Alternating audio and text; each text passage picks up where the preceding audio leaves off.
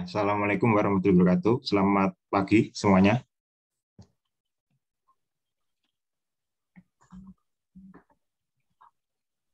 Ya, selamat pagi. Kok nggak ada suaranya ini?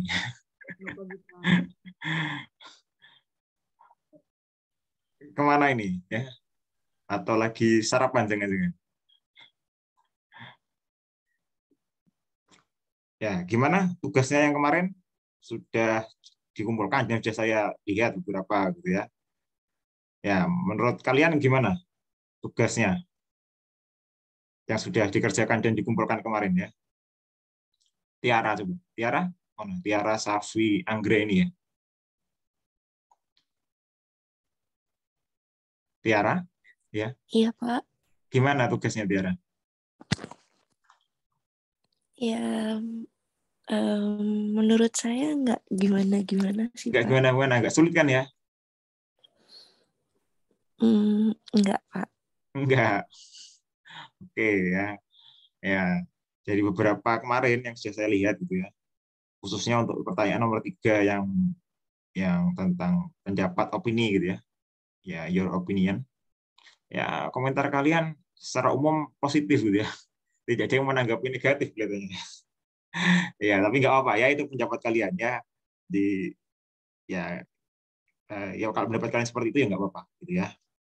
Oke ya. Jadi hari ini pertemuan kita untuk MBKM yang kedua ya. Jadi seperti yang sudah saya eh, ceritakan kemarin gitu ya. Jadi untuk pertemuan kedua ini kita akan membahas tentang metode non konvensional yang kedua ya. Jadi selain microwave, assist extraction, yang kedua ini ada ultrasound ya, assist extraction. Ya, dua metode ini basicnya gitu ya.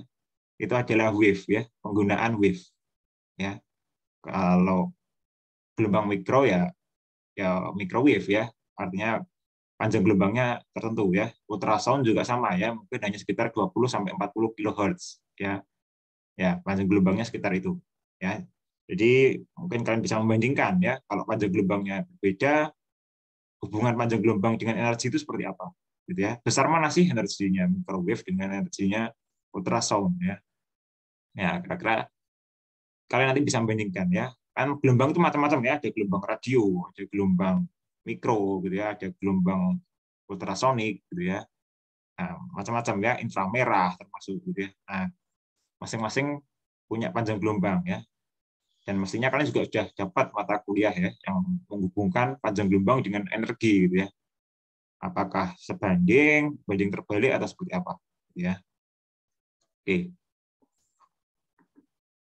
Oke, mau ditanyakan dulu dari mata kuliah yang kemarin, materi kemarin untuk microwave extraction? Sudah cukup paham? Ya, karena harus paham dulu ya, karena kalau masuk ke ultrasound masih ada hubungannya sebenarnya dengan kemarin ya. Jadi masih ada singgungannya sedikit. Gimana? Sudah paham untuk yang kemarin?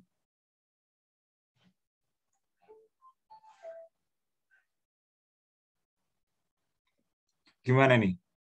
Paham enggak atau atau gimana? Saya bingung nih kalau kalian nggak aja respon.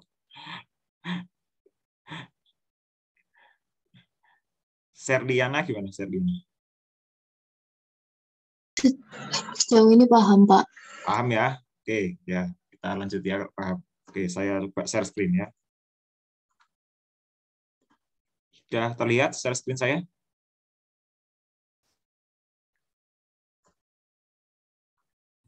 Sudah, Pak. Sudah ya. Oke, kita. Jadi hari ini topik kita adalah tentang ultrasound acid extraction ya. Jadi ini juga salah satu green methods ya.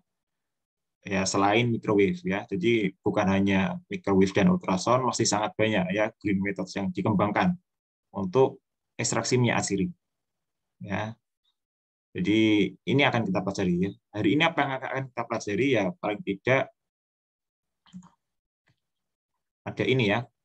Nanti kalian akan kita kita akan berbicara tentang introduction dulu ya. Seperti apa sih ya ultrasound ini gitu ya. Nah, nantinya kalian harus tahu ya konsep atau mekanisme dari ultrasound acid extraction ini seperti apa ya. karena mungkin akan ada sedikit perbedaan ya dengan yang kemarin microwave. Nah, yang ketiga faktor-faktor ya. Faktor apa atau parameter apa yang mungkin punya pengaruh gitu ya pada proses ekstraksi dengan menggunakan ultrasound ini gitu ya. Sedangkan yang selanjutnya adalah hybrid teknik ya. Jadi teknik gabungan atau mungkin kita bisa bilang combination gitu ya. ya antara ultrasound dengan konvensional methods ya. Jadi kita akan coba buat suatu metode hybrid gitu ya atau kombinasi ya sehingga metode konvensional ini punya added value gitu ya. Jadi ini kita bisa tingkatkan ya sehingga dia menjadi metode yang lebih baru dan lebih bisa menghasilkan ya secara kuantitas ataupun kualitas minyak hasilnya lebih bagus gitu ya daripada tanpa dikombinasikan dengan ultrasound gitu ya.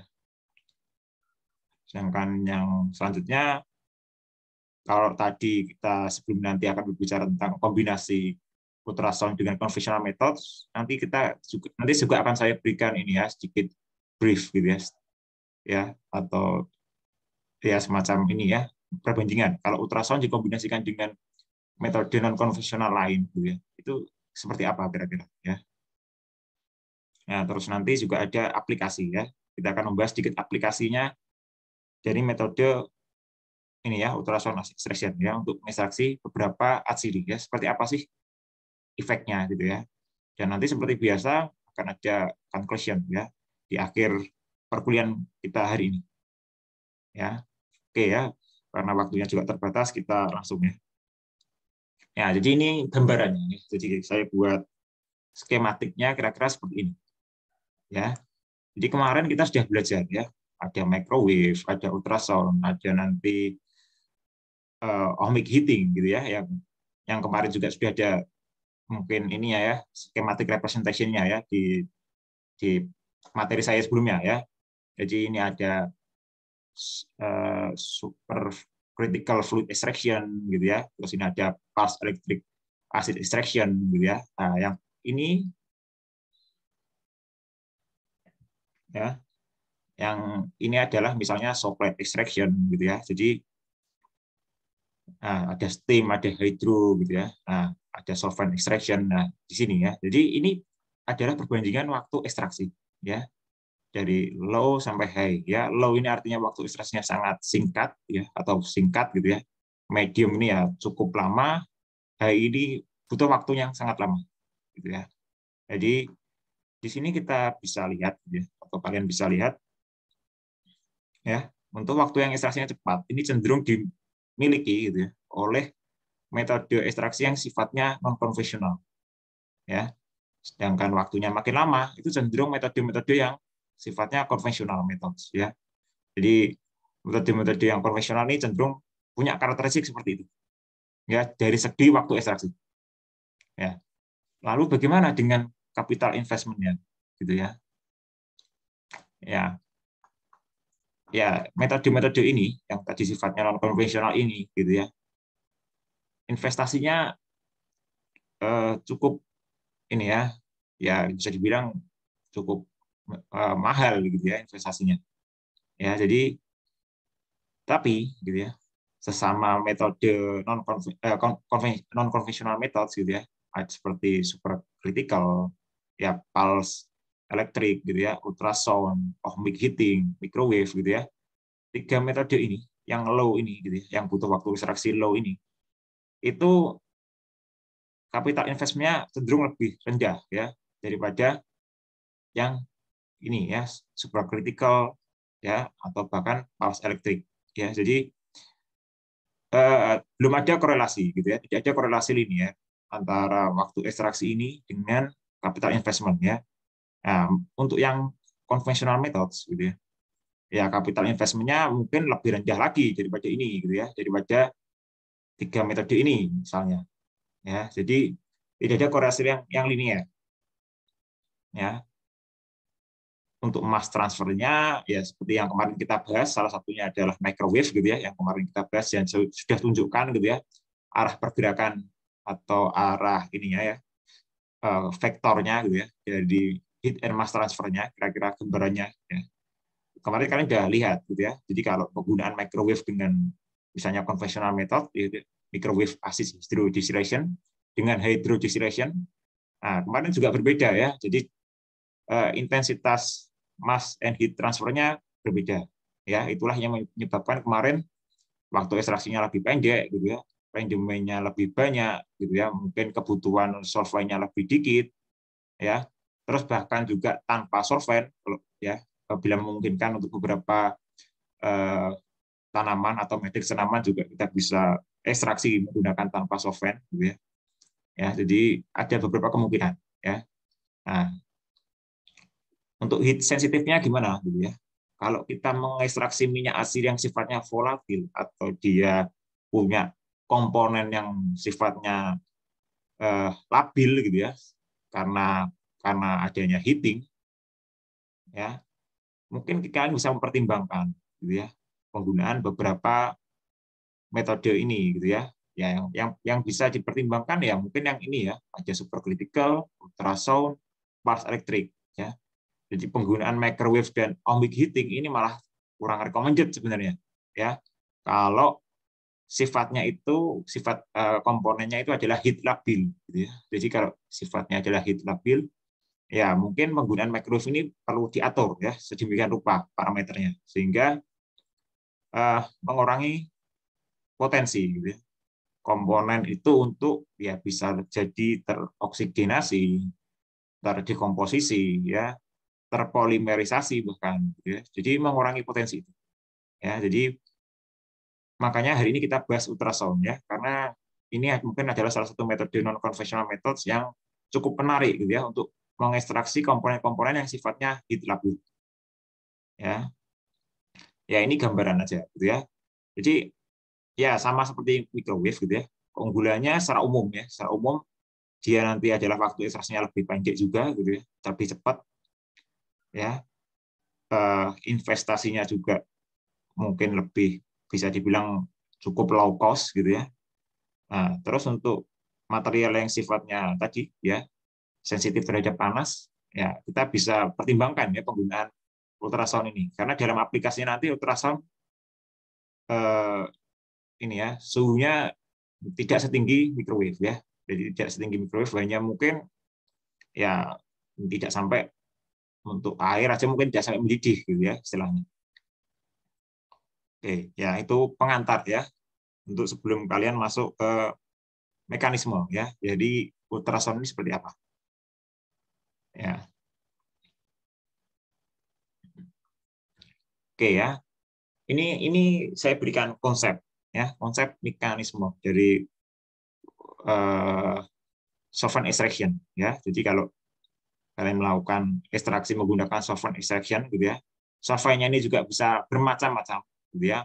Mulai dari organik solvent eh, semi organik ya atau bahkan uh, anorganik gitu ya solvent atau bahkan polar semi polar or non polar gitu ya. Nah, itu kira-kira ya solventnya sangat macam-macam ya. Jadi ada ionic liquid solvent itu pun juga sekarang lagi tren istilahnya gitu ya. Dan itu pun juga masuk salah satu metode green methods gitu ya, non konvensional methods ya penggunaan ionic liquid ya. Itu pun juga solvent ya yang sifatnya ya ionic gitu ya. Nah ini gambarannya ya. Jadi kalau kalian ekstraksi menggunakan solvent kan kira-kira seperti ini ya di laboratorium atau mungkin bahkan di skala yang lebih besar ya biomasa bisa ini adalah matrix yang mau kita ekstraksi asirinya gitu ya. kita tambahkan solvent dengan perbandingan komposisi tertentu tentunya gitu ya terus kita ekstraksi, ya hasilnya pasti akan akan kalian filtrasi gitu ya. Kalian dapatkan crude ekstrak gitu ya. Nah, nantinya solvent ini gitu ya. Crude ekstrak ini akan bisa dievaporasi gitu ya. Sehingga akan didapatkan solvent lagi dan nanti ada produknya gitu ya. Misalnya essential oil di sini gitu ya.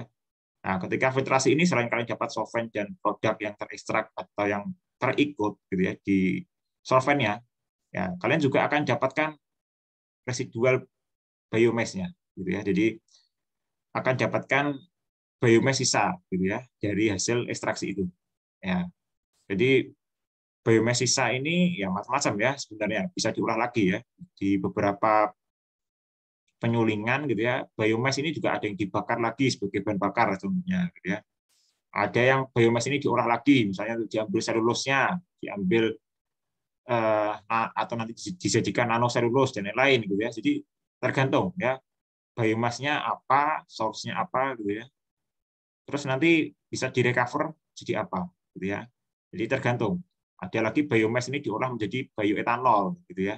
Atau atau yang lain gitu ya aseton atau bahkan butanol gitu ya tergantung ya. Tergantung kebutuhan atau tergantung skema dari unit operasinya suatu eh, ini ya penyulingan atau industri atsiri itu ya jadi tergantung. Ya tapi secara umum operasi skematiknya seperti ini ya secara umum hanya seperti ini. Ya. Ya, untuk posisi ultrasound, gitu ya, nantinya kita bisa tempatkan di sini pada saat tahap ekstraksi ini atau pada saat evaporasi, gitu ya. Karena tadi kita sudah membahas bahwa ultrasound untuk cukup baik untuk yang sifatnya heat labil, gitu ya. Ya, kita bisa gunakan di sini, ya, di main stage ini, ya. Jadi di sini ultrasound bisa punya pengaruh ya untuk mengekstraksi bahan tanaman kalian dengan adanya solvent tertentu. Gitu ya. Nah, dan di evaporasi juga ultrasound punya peran lagi gitu ya. Karena kalau evaporasi kan sama ya, kalian pasti butuh panas gitu ya untuk memisahkan antara essential oil dengan solventnya gitu ya. Ya, ultrasound bisa menjadi salah satu solusi juga gitu ya. Nah, karena kalau panas juga percuma ya. Jadi di sini misalnya kita pakai ultrasound tapi di sini nggak pakai kan sama aja gitu ya. Di sini kan kalian juga mungkin malasnya bisa menggunakan heating mantle gitu ya, hot plate atau apa pun. Kan intinya tetap panas gitu. Untuk bisa menguapkan atau menghilangkan atau meminimalisir larut yang ada di produk kalian ya, essential oil. Ya. Nah, di saat manasin ini atau memisahkan atau mengevaporasi pelarut gitu ya. Ya, di situ juga ada pastinya panas ya yang menyebabkan minyak kalian atau produk kalian atau senyawa yang terkandung di dalam minyak asir itu bisa rusak gitu ya. Ya, kalau rusak impact-nya impact-nya macam-macam ya.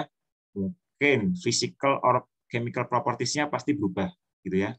Jadi kalau kalian cium baunya mungkin sudah tidak fresh seperti bau biomass ya awalnya atau mungkin juga warnanya berubah gitu ya atau mungkin densitasnya berubah ya. Jadi itu menandakan minyak kalian sudah rusak karena pemanasan tadi gitu ya. Jadi sebenarnya seperti itu. Ya, jadi pemanfaatan ultrasound ini cukup menarik sebenarnya ya, kalau kalian belajar lebih lanjut nanti. Nah, oke okay ya. Jadi selanjutnya kita coba bahas ya. Ini adalah sedikit gambaran dari saya ya. Ini mekanisme ya. Mekanisme ultrasound. Jadi ultrasound ini ada macam-macam ya. Nanti saya coba berikannya. Yang di sini adalah tipe horn ya atau tanjuk getar. Ya, ini adalah skematik untuk tanjuk getah ya. Tapi uh, apa pun jenisnya gitu ya. Konsep atau mekanismenya similar ya, sama ya.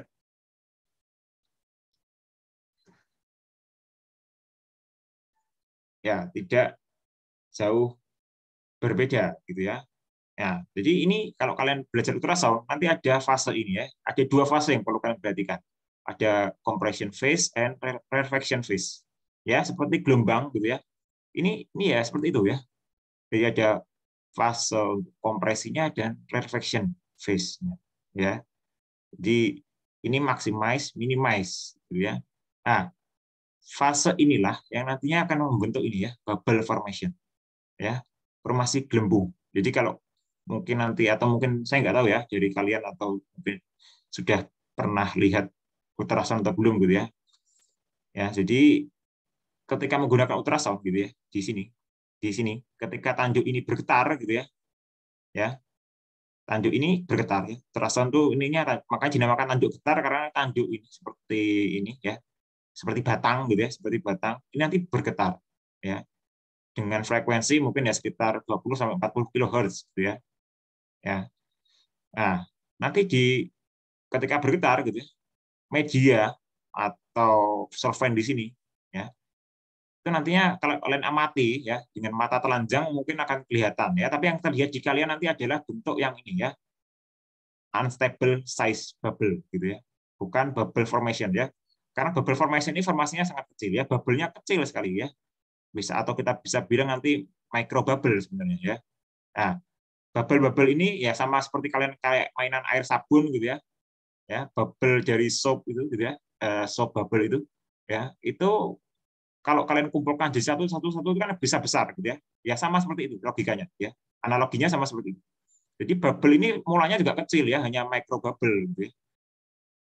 Ya tapi karena ketemu dengan micro bubble yang lain yang lain yang lagi gitu ya samping-sampingnya gitu ya bubble ini tumbuh ya agak besar besar membesar gitu ya. Sampai suatu saat dia tidak stabil ya sama seperti kalian mainan tadi ya gelembung sabun tadi ya makin besar makin besar kan nggak stabil ya pecah sendiri gitu ya. Ya sama seperti itu. Bubble ini nantinya akan tidak stabil. Ya ya ketika nggak stabil ya sama seperti gelembung sabun dia akan pecah gitu ya. Tapi pecahnya ini sebenarnya cukup ini ya tekanan dan suhunya cukup tinggi sebenarnya ya. Tapi itu tidak tidak ini ya. Jadi meskipun tekanannya bisa setinggi ini gitu ya tapi kalian lihatnya ya biasa aja gitu ya ketika ultrasound ini bekerja. Ya, jadi cukup unik kerjanya ya. Karena yang bekerja di sini adalah microbubble. Ya, yang mengekstraksi yang atau membantu proses ekstraksi nanti adalah microbubble. Ya. Jadi microbubble ini yang nantinya akan menyerang ini ya, matrix cell. Jadi kalau ini saya buat skematik matrix cell gitu ya. Contohnya ya. Sedangkan hijau-hijau ini adalah minyak atsiri misalnya gitu ya di dalam sel gitu ya. Ini misalnya ada sel gitu ya ini ada matriksnya gitu ya. Nah, dia nantinya akan menyerang ini ya. Jadi microbubble ini akan istilahnya menabrak ya matriks sel ini. Ya. Bayangkan aja kalau kalian kena tekanan setinggi ini gitu ya. Kita sekarang mungkin tekanan hanya satu ATM gitu ya. Ya. Ini cukup tinggi tekanannya ya, lebih dari satu ATM ya. Artinya ada delta P ya. Ya, delta P inilah yang penting gitu ya di dalam microbubble ya sehingga matriks ini atau atau matriksnya ini bisa rusak ya merusak matriksnya ini. Ya impactnya apa kalau matriks ini rusak ya? Terjadi disrupsi ya. Nah, jadi adanya kerusakan ini ya ada kerusakan sel ini ya menyebabkan uh, bioactive compound gitu ya itu bisa rilis ya. Salah satunya ya essential oil ya jadi memang tidak bisa dipungkiri gitu ya kalau kita atau kalian mengekstraksi minyak atsiri atau dari tanaman atsiri gitu ya. Ya mungkin yang terekstrak tidak hanya minyak atsiri ya, tapi bioaktif yang lain mungkin akan terekstrak ya. Misalnya mungkin ada lignin, saponin ya, flavonoid ya, dan lain-lain. Ya, mungkin bahkan polifenol gitu ya. Ya, bisa juga ya. Ya, bioaktif bioaktif itu bisa rilis ya ke environment ya dalam hal ini kalau kita gunakan solvent, ya dia akan rilisnya ke solvent. Ya, dia rilis ke solvent, ya sehingga di solvent ini ya larut ya tergantung dia larut atau tidak. Kalau nggak larut ya akan terbentuk fase ya gitu ya, entah di atas atau di bawah tergantung densitas dari bioaktif ini. Ya, kalau lebih ringan daripada solvent yang kita gunakan, jadi ya sifatnya eh, tidak larut gitu ya, non soluble, ya pasti di atas Ya. Tapi ketika dia bisa larut, ya artinya satu fase ya dengan solventnya. Ketika rilis, gitu ya. Jadi kira-kira singkatnya seperti itu, gitu ya. Nanti kalau kalian ingin lihat ceritanya lebih detail gitu ya, mungkin bisa ini ya di referensi ya, saya sudah berikan referensinya. Ya, jadi kalian bisa akses di situ ya. Nah, ceritanya seperti apa sih gitu ya detailnya. Jadi ceritanya cukup panjang ya, karena kita pertemuannya juga terbatas gitu ya waktunya. Jadi ya mungkin ini hanya ini ya skematiknya kira-kira seperti ini yang bisa saya buatkan ya untuk perkuliahan hari ini gitu ya. Nah, tadi ya kita sudah bicara tentang gelombangnya ya. Jadi kalau ini tanduk getarnya di sini gitu ya misalnya. Kita misalkan tanduk getar itu di sini atau probe-nya itu di sini gitu ya. Ultrasound probe-nya itu di sini. Ya ini gelombangnya ya. Gelombangnya macam-macam low and high frekuensi. Ya, jadi ada uh, frekuensinya rendah, frekuensi tinggi. Jadi kita bisa atur frekuensinya. Jadi ketika menggunakan ultrasound, kalau kemarin menggunakan microwave itu daya yang diatur gitu ya. dengan menggunakan ultrasound sekarang kita mengatur frekuensi ya jadi frekuensinya kita atur sedemikian rupa ya di dalam proses ekstraksi ya di low frekuensi ini gitu ya ya ini ada kecenderungan ya. Diameter dari bubble itu gitu ya itu akan meningkat ya. Sehingga energinya lebih tinggi gitu ya. Sedangkan di high frekuensi sebaliknya gitu ya. Diameter bubble-nya ini berkurang gitu ya. Impact-nya apa? Energi yang dia bawa atau dia transferkan gitu ya itu juga cukup rendah gitu ya nah makanya ketika kita mengekstraksi menggunakan ultrasound ini ya nantinya frekuensi ini penting untuk diperhatikan gitu ya ya tidak boleh terlalu tinggi juga mungkin ya tidak boleh terlalu rendah juga ya karena untuk menciptakan cavitation bubble gitu ya itu itu ada ini ya ada aturannya sendiri sebenarnya ya yang perlu diperhatikan ya jadi kalian nanti ketika misalnya penelitian menggunakan ultrasound gitu ya, mungkin ini akan jadi variabel gitu ya. Frekuensi ini salah satunya. Ya. Karena ini memang cukup penting dan punya pengaruh yang ya cukup signifikan ya kalau bisa dikatakan. Ya. Nah, tadi gitu ya, ada perbedaan kan ya dengan bubble-bubble ini gitu ya. Jadi bubble ini kalau ini bubble-nya tekanannya besar gitu ya, sedangkan eh, luar ini tekanannya kecil gitu ya lingkungan itu tekanannya lebih kecil bubble ini bentuknya nanti bisa seperti ini ya bukan bukan lingkaran lagi ya. Bubble-nya bentuknya bisa seperti apa ya? E, mungkin kalian tahu ini ya. Ya istilahnya mungkin kayak pentol yang ditusuk gitu ya. Ya tapi ini ketika ditusuk gitu ya ini tuh berubah ya. Kalau pentol kan ditusuk tetap, tetap bulat gitu ya tetap round ya. Kalau ini enggak ketika ditusuk gitu ya itu berubah ya. Bentuknya menyerupai topi gitu ya mungkin ya nah bentuknya menyerupai topi ini yang dinamakan uh, ini ya microjet ya microjet bubble. Ya. Ya dinamakan microjet bubble karena bentuknya ya seperti jet sebenarnya ya cepat juga gitu ya. Nah karena adanya perbedaan pressure ini ya yang membuat terbentuknya microjet bubble gitu ya. Ya, makanya bentuknya nanti bisa nggak round lagi gitu ya. Ya, jadi bentuknya seperti ya topi tadi gitu ya. Nah, topi gitu. Tapi dia juga cepat ya, nanti akan ketemu dengan bubble-bubble yang lain gitu ya, membesar terus meletus gitu ya. Nah, jadi pecahnya matriks itu juga bisa karena ini ya, bukan hanya karena bubblingnya doang, tapi bisa juga ada kemungkinan karena microjet ini ya, microjet bubble ini. Ya, jadi kalau dia kena microjet bubble ini sebenarnya lebih penting ya. Kita tuh lebih ngejar microjet ini sebenarnya ya daripada hanya sekedar bubble-bubble yang biasa ya. Jadi uh, microjet bubble ini penting ya. Kalau dia banyak harapannya ekstraksi lebih cepat juga gitu ya, lebih cepat, lebih efisien, rangemennya lebih banyak dan lain-lain gitu ya.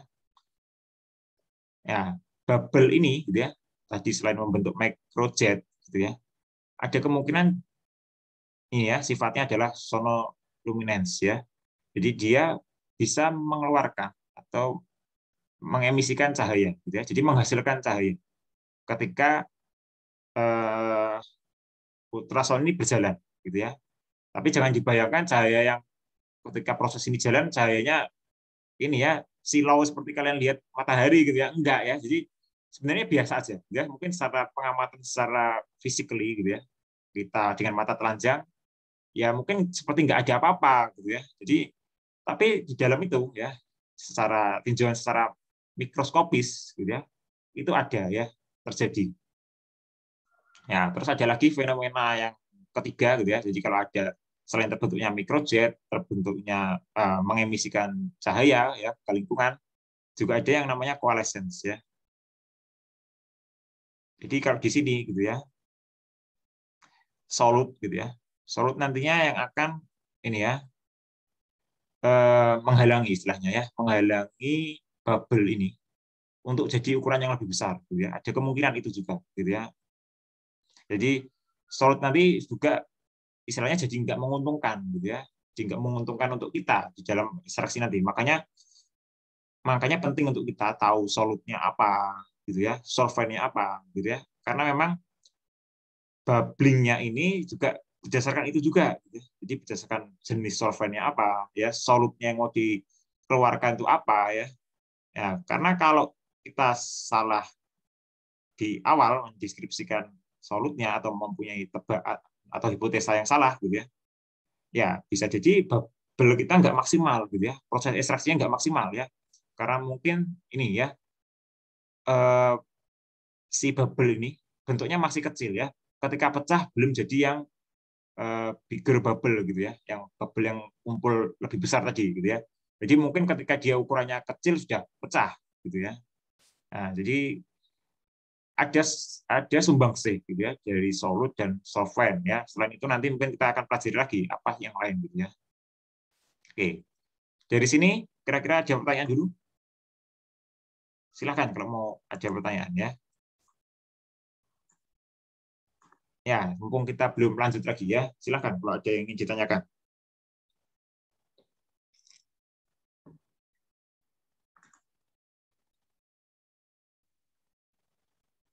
Tiara, gimana Tiara? Ada pertanyaan Tiara?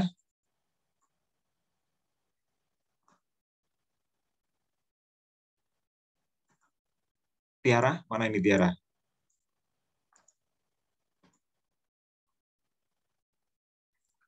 Lutfiana Utami mana? Lutfiana Utami? Uh, belum ada pertanyaan Pak. Belum ada pertanyaan, masih paham ya? Oke ya, disimak ya nanti sama seperti minggu kemarin gitu ya, mungkin akan ada tags untuk kalian ya. Oke ya, Jadi kita, kita lanjut ya. Kalau ada pertanyaan nggak apa ya. Nanti kalian bisa ketika ada pertanyaan boleh potong saya di tengah-tengah saya menjelaskan ya, silahkan ya. Jadi tidak perlu nunggu uh, saya memberikan feedback seperti ini ya. Jadi di tengah-tengah nanti silahkan cut saya gitu ya. Oke ya, kita lanjutkan.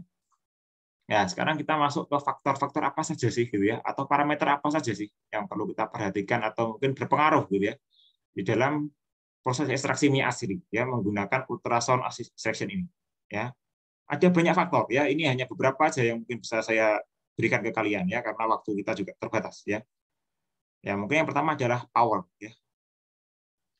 Ya, yang kedua ada frekuensi yang tadi sudah kita singgung sedikit, gitu ya.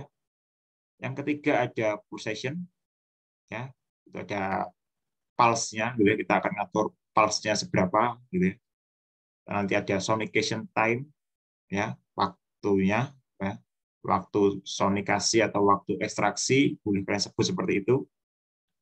Nanti ada ultrasonication system type-nya, ya, jenisnya, yang tadi saya sebut itu ada satu jenis ya. Tadi saya ceritakan ada horn atau tanduk getar gitu ya. Itu baru satu jenis. Nanti kita lihat lagi jenis yang lain ada apa kira-kira ya. Terus ada temperatur ya. Ada lagi particle size dari matrix yang akan kita ekstraksi gitu ya atau yang akan kita ambil minyak asirinya gitu ya. Ada lagi solvent type ya, jenis solventnya tadi ya. Karena di sini cukup penting ya meskipun uh, tidak serumit microwave gitu ya dalam pemilihan solventnya, tapi ini juga cukup penting ya untuk dipelajari. Dan yang terakhir mungkin yang yang akan kita bahas nanti adalah liquid to solid ratio ya atau bisa dibalik juga silahkan gitu ya solid to liquid gitu ya atau fit to solvent juga silahkan ya jadi banyak istilahnya ya jadi kalau kalian nanti belajar jangan bingung ya karena ini hanya istilah ya, banyak istilahnya untuk mengistilahkan liquid to solid ratio. Ya, oke okay, ya. Yang pertama ada power ya. Ya. Power gitu ya. Jadi secara umum gitu ya. Secara umum dengan naiknya power gitu ya. Ya power density gitu ya dari penggunaan microwave itu gitu ya. Secara umum rendemen kalian akan naik gitu ya tapi di kondisi tertentu ya, di power density tertentu, ya, rendemen minyak asiri kan bisa turun, gitu ya. Naiknya kenapa, gitu ya? Jadi fenomena itu naik karena macam-macam, ya. Misalnya dengan adanya power yang meningkat bisa lebih mendisrupsi selnya itu, ya, matrix selnya tadi yang isinya ya di kelenjar minyak itu ya, yang isinya adalah minyak asiri atau mungkin bioaktif yang lain ya, bioaktif compounds yang lain. Ya. Nah, terus dengan naiknya power density gitu ya. Eh, kavitasi akustiknya gitu ya, yang dihasilkan juga naik gitu ya. Sehingga hipotesanya gitu ya, difusivitasnya gitu ya dari solvent ke solid ya itu juga naik ya. Harapannya laju difusivitasnya ini tinggi gitu ya antara solid dan solvent ini tinggi ya. Sehingga harapannya nantinya minyak ini atau bioaktif compounds ini bisa keluar gitu ya dengan waktu yang lebih singkat ya daripada tanpa treatment ultrasound gitu ya Ya, jadi dengan adanya power density yang naik gitu ya, ya pasti ya ada korelasinya secara tidak langsung atau bahkan langsung gitu ya dengan gelembung kavitasinya atau cavitation bubble-nya ya. Jadi baik itu ukurannya ya, baik itu bentuknya tadi, bentuk itu misalnya ada bentuknya microjet atau round bubble gitu ya atau atau seperti apa ya. Jadi bentuknya berpengaruh ya. Tadi yang kita harapkan adalah kalau bisa bentuknya adalah berupa microjet bubble ya. Itu akan lebih bagus dalam proses ekstraksi kalau kita bisa membuat atau mengkondisikan sedemikian rupa agar microjet bubble ini tercipta gitu ya istilahnya. Ya, jadi kalau kalau tadi saya katakan lebih tinggi power density-nya kok lebih buruk gitu ya. Itu bisa jadi karena sudah ya di dalam sistem solvent liquidnya gitu ya. Itu sudah terjadi yang namanya saturation effect gitu ya. Nah saturation effect ini malah istilahnya malah menghalangi gitu ya. Jadi karena energi yang transmisinya itu cukup besar gitu ya tapi mediumnya nggak berubah gitu ya. jadi kalau kalian bayangkan eh, misalnya satu lapangan bola gitu ya diisi oleh 24 pemain eh ya 22 pemain sepak bola gitu ya dua tim gitu ya itu sangat luas gitu ya ketika itu dipenuhi oleh penonton konser gitu ya, lapangan sepak bola dengan ukuran yang sama gitu ya. Nah, kalian tidak bisa bergerak kan ya. Nah, logikanya seperti itu. Ya, analoginya seperti itu. Ya, itu yang namanya saturation effect ya, jenuh ya. Ya, kalian akan mungkin merasa gerah ya, merasa ya, kalian nggak bisa ke mana-mana gitu ya, bergerak aja sulit gitu ya. Ya itu namanya saturation effect. Ya, saturation effect ini malah mendikris yield dari atsiri kalian gitu ya. Jadi bukannya malah bagus gitu ya, tapi dia malah uh, turun ya menyebabkan rendemennya turun bahkan yang lebih ini ya, yang lebih parah lagi mungkin uh, kualitas ya. Kualitasnya bisa turun juga ya. Jadi selain kualitas ya selain kuantitas gitu ya, kualitasnya juga bisa turun ya, mengalami penurunan ya karena adanya saturation effect ini. Ya, jadi power density-nya naik tapi harapannya manajemennya tinggi malah sebaliknya bisa jadi sebaliknya ya. Ya kalau itu terjadi ya bisa jadi karena tadi ya adanya saturation effect di dalam proses ekstraksi kalian. Ya makanya di beberapa penelitian gitu ya ini cukup penting ya untuk kita optimasi sebenarnya ya. Jadi kita akan dapatkan di dalam ruangan sekian atau atau volume sekian gitu ya atau di dalam dimensi sekian gitu ya kita itu kira-kira butuh power berapa sih gitu ya yang optimal ya. Nantinya power itu akan bisa kita gunakan gitu ya sebagai media untuk scale up misalnya ya. Scale up, scale up alat ya atau scale up ya scale up atau bahkan scale down pun bisa sebenarnya ya. Tidak hanya scale up tapi scale down pun bisa ya. Jadi karena kalau kalian masih terjadi saturation effect ya secara umum pasti merugikan ya. Jadi secara umum pasti merugikan. Karena secara hitung hitungan pasti kurang kurang masuk gitu ya. Ya Ya, selain itu, gitu ya, selain itu bisa juga karena ini ya. Jadi kalau power density-nya naik, gitu ya, itu juga bisa menyebabkan superheated, ya. Jadi superheating ya. Superheatingnya kenapa, gitu ya? Karena tadi bubble-bubble tadi kan akhirnya ini ya terkumpul ya, terlokalisasi istilahnya ya di satu titik tertentu, gitu ya. Ya, kalau dia terkumpul, ya itu bisa jadi tadi ya ada faktor degradation. Ya jadi minyak yang mungkin semula warnanya kuning gitu ya mungkin bisa jadi menjadi kuning kecoklatan gitu ya. Atau minyak yang harusnya baunya mirip dengan biomesnya sekarang mungkin agak berbeda lagi. Ya baunya tidak seperti biomesnya agak mungkin cenderung apa gitu ya. Ya itu sebenarnya sudah termasuk kena efek ini ya. Eh, superheated tapi yang istilahnya terlokalisasi ya. Jadi terlokalisasi di ya area tertentu ya. Biasanya ini ya yang dekat dengan uh, ultrasound source-nya itu gitu ya. Jadi gimana ya? Biasanya seperti itu ya. Kalau kita gunakan tadi tanduk getar ya mungkin akan dekat dengan uh, source-nya itu ya. Tanduk getarnya itu di mana? Ya. Ya, yang kedua ada frekuensi ya. Jadi frekuensi ini umumnya gitu ya. Jadi saya katakan di awal 20 sampai 40 kHz gitu ya. Tapi di atas 40 kHz sebenarnya juga ada tapi jarang ya. Jadi 40 sampai 120 kHz ini juga cukup jarang digunakan untuk eh, ekstraksi eh, bioactive compounds gitu ya dari tanaman asiri gitu ya. Jadi cukup jarang meskipun ya sebenarnya ada juga gitu ya yang menggunakan misalnya 60 kHz atau yang lain ya. Ya, dengan meningkatnya frekuensi gitu ya. Itu ukuran bubble itu tambah kecil ya, bukan tambah besar. Ya. Jadi kalau kalian tadi ada rarefaction and compression phase gitu ya, ya rarefaction, rarefaction phase and compression phase, ya kalian bisa amati ya dengan naiknya frekuensi, ya, jumlah frekuensi gitu, ya, atau makin besarnya frekuensi, ya ukuran bubble yang dihasilkan itu itu secara makin kecil. Ya, konsekuensinya apa gitu ya?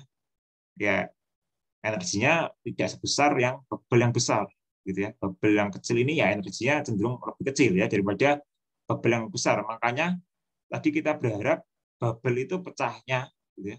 Ketika dia besarnya ya maksimal gitu ya. Ketika dia kumpul dengan banyak mikrobubble mikrobubble yang lain baru pecah gitu ya. Kita tidak berharap mikrobubble ini langsung pecah dalam proses ekstraksi nantinya ya. Jadi harapannya seperti itu ya oleh karena itu gitu ya. Ya eh, kita gitu ya perlu milih ini istilahnya ya. Eh, frekuensi sedemikian rupa ya. Jadi tidak terlalu tinggi juga tidak terlalu rendah gitu ya. Nanti kalau terlalu tinggi bubble-nya besar juga kurang bagus gitu ya untuk media yang tertentu ya. Karena kalau bubble-nya terlalu besar ya tadi ya ada kemungkinan malah uh, ada fenomena degradasi dan lain-lain gitu ya atau atau polimerisasi dan lain terhadap uh, chemical properties-nya. Ya, mungkin secara physical properties oke, okay, tapi secara chemicalnya mungkin sudah sedikit rusak ya karena ada beberapa fenomena tadi. Ya, karena itulah kalian perlu ya melihat ini ya frekuensi itu sebagai salah satu faktor yang cukup penting ya selain tadi ada power density misalnya. Ya, yang selanjutnya ada pulsation ya. Pulsation di sini adalah ya seperti kalian ini gitu ya, seperti kalian punya saklar lampu di rumah gitu ya, ada on off gitu kan. Ya, ini juga sama seperti itu. Ini adalah seberapa cepat gelombang itu istilahnya on off gitu ya. Siklusnya seperti itu ya. Siklus gelombang kan seperti itu ya. Tadi ada rarefaction phase, ada eh, ini ya. Jadi seberapa cepat uh, fase itu gitu ya. Jadi on off-nya seberapa cepat ya. Sama seperti microwave ya. Ada pulse-nya juga ya, ada pulsation-nya juga. Jadi microwave yang kemarin mungkin belum sempat saya singgung ya, pulsation-nya ya. Sebenarnya hampir sama ya. Gelombang itu yang namanya gelombang pasti punya pulse gitu ya. Jadi sifat gelombang kalian nanti ingat-ingat gitu ya. Pulse itu pasti ada gitu ya. Jadi gelombang apa pun ya, entah itu infrared, gelombang radio gitu ya, gelombang mikro atau bahkan ini yang sekarang kita pelajari sekarang gelombang ultrasound gitu ya. Jadi pasti ada pulse-nya. Ya, ya pulse ini juga penting ternyata ya. Jadi kita ngatur siklusnya on off-nya kapan dia datang lagi gitu ya. Kalau di microwave mungkin kan bisa atau pakai microwave oven di rumah gitu ya. Itu kan bisa coba dekatkan dengan telinga kalian gitu ya. Pasti nanti akan terdengar semacam suara gitu ya. Ada yang hilang, bunyi lagi, hilang, bunyi lagi. Tapi pelan suara itu gitu ya, tapi terdengar sebenarnya ya. Jadi kalau kalian aware dengan microwave di rumah, itu bisa nyoba gitu ya. Kira-kira benar nggak sih gitu ya ada suara itu gitu ya. Nah, kalau kalian dengar suara itu, itu yang namanya pulsation. Ya. Sama dengan sekarang ultrasound, ini juga punya pulsation, tapi mungkin ini lebih cepat daripada microwave gitu ya. Jadi pulse-nya ini geraknya lebih cepat ya. Kalau microwave mungkin agak lebih lama gitu ya. Mungkin suaranya deng gitu ya, mati lagi gitu ya. hidup lagi, gitu, mati lagi gitu ya. Nah, kalau ini lebih cepat, off on off, off gitu ya, lebih cepat geraknya. Ya, periodically ya lebih cepat daripada microwave ya. Mungkin beda lagi dengan gelombang radio gitu ya. Nah, jadi kalian perlu eh, ini ya, ingat-ingat itu ya. Jadi pulsation gelombang harusnya ada ya, gelombang apa pun itu.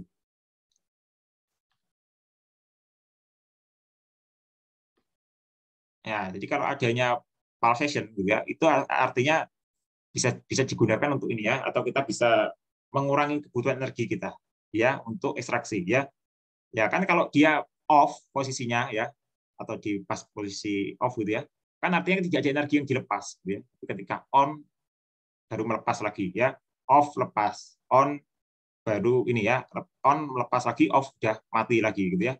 Nah, jadi sebenarnya makanya kenapa ekstraksi menggunakan non konvensional method itu lebih ini ya istilahnya lebih lebih tidak butuh banyak energi gitu ya. Karena di dalam sistemnya karena dia seperti itu ya. Ada pulse itu ya yang menyebabkan dia on off on off. Jadi tidak selamanya kerja ya. Kalau kita menggunakan steam hydro atau bahkan steam hydro distillation gitu ya biasanya akan kerja ya. Kalau kita menggunakan api apinya kan harus nyala terus gitu ya. Kita nggak bisa matikan apinya nyalain lagi tiba-tiba gitu kan ya. Nah energinya sangat besar ya salah satu kita bisa mengurangi energi ya dengan ini ya dengan gelombang ya. Jadi kalau kita mainkan gelombang kita atur pulse-nya ya kalian bisa mengurangi kebutuhan energi di dalam proses ekstraksi ya. Kalau ini konteksnya ekstraksinya asiri gitu ya. Ya terus pulse ini gitu ya itu juga mempengaruhi nanti ya bisa bentuk bubble-nya ukuran bubble-nya jenis bubble-nya sendiri gitu ya jadi pulse ini cukup penting ya. Bentuk bubble-nya nanti pengaruh gitu ya. Kalau pulse-nya cepat gitu ya, ya bentuk bubble-nya pasti lain ya. Mungkin bisa jadi bentuknya micro bubble-nya banyak gitu ya. Kalau mungkin eh, si apa namanya ininya lambat gitu ya, mungkin micro bubble-nya juga nggak sebanyak yang cepat mungkin gitu ya. Ya, jadi pulse ini cukup cukup penting gitu ya kalau untuk kita lihat atau kalian atur gitu ya istilahnya. Ya karena kalau kalian nggak bisa ngatur ini gitu ya ya bubble yang kalian dapatkan juga kurang maksimal ya. Atau bahkan bubble-nya cukup sedikit ya. Nah makanya sini saya katakan ini ya cukup vital ya. Kalau ini adalah vital problem ya untuk istilahnya yang menggunakan ya gelombang-gelombang akustik seperti ini gitu ya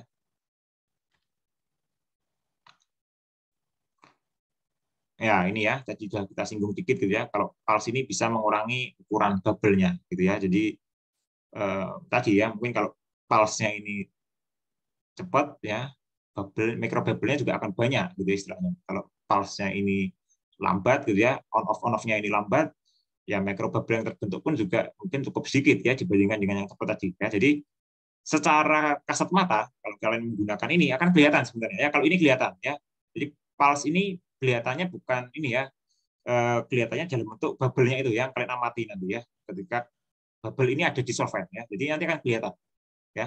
Tapi ketika jalan alat ini gitu ya, yang kalian dengar mungkin nggak se ini ya, sensitif kalian mendengarkan pulse-nya microwave ya. Kalau pulse-nya microwave tadi cenderung lebih lambat jadi ultrasound. Jadi kalau kalian dengarkan ultrasound ini akan sangat cepat ya. Malah kalian malah, malah mungkin akan mengira nggak ada pulse-nya gitu ya nggak ada on off-nya gitu ya.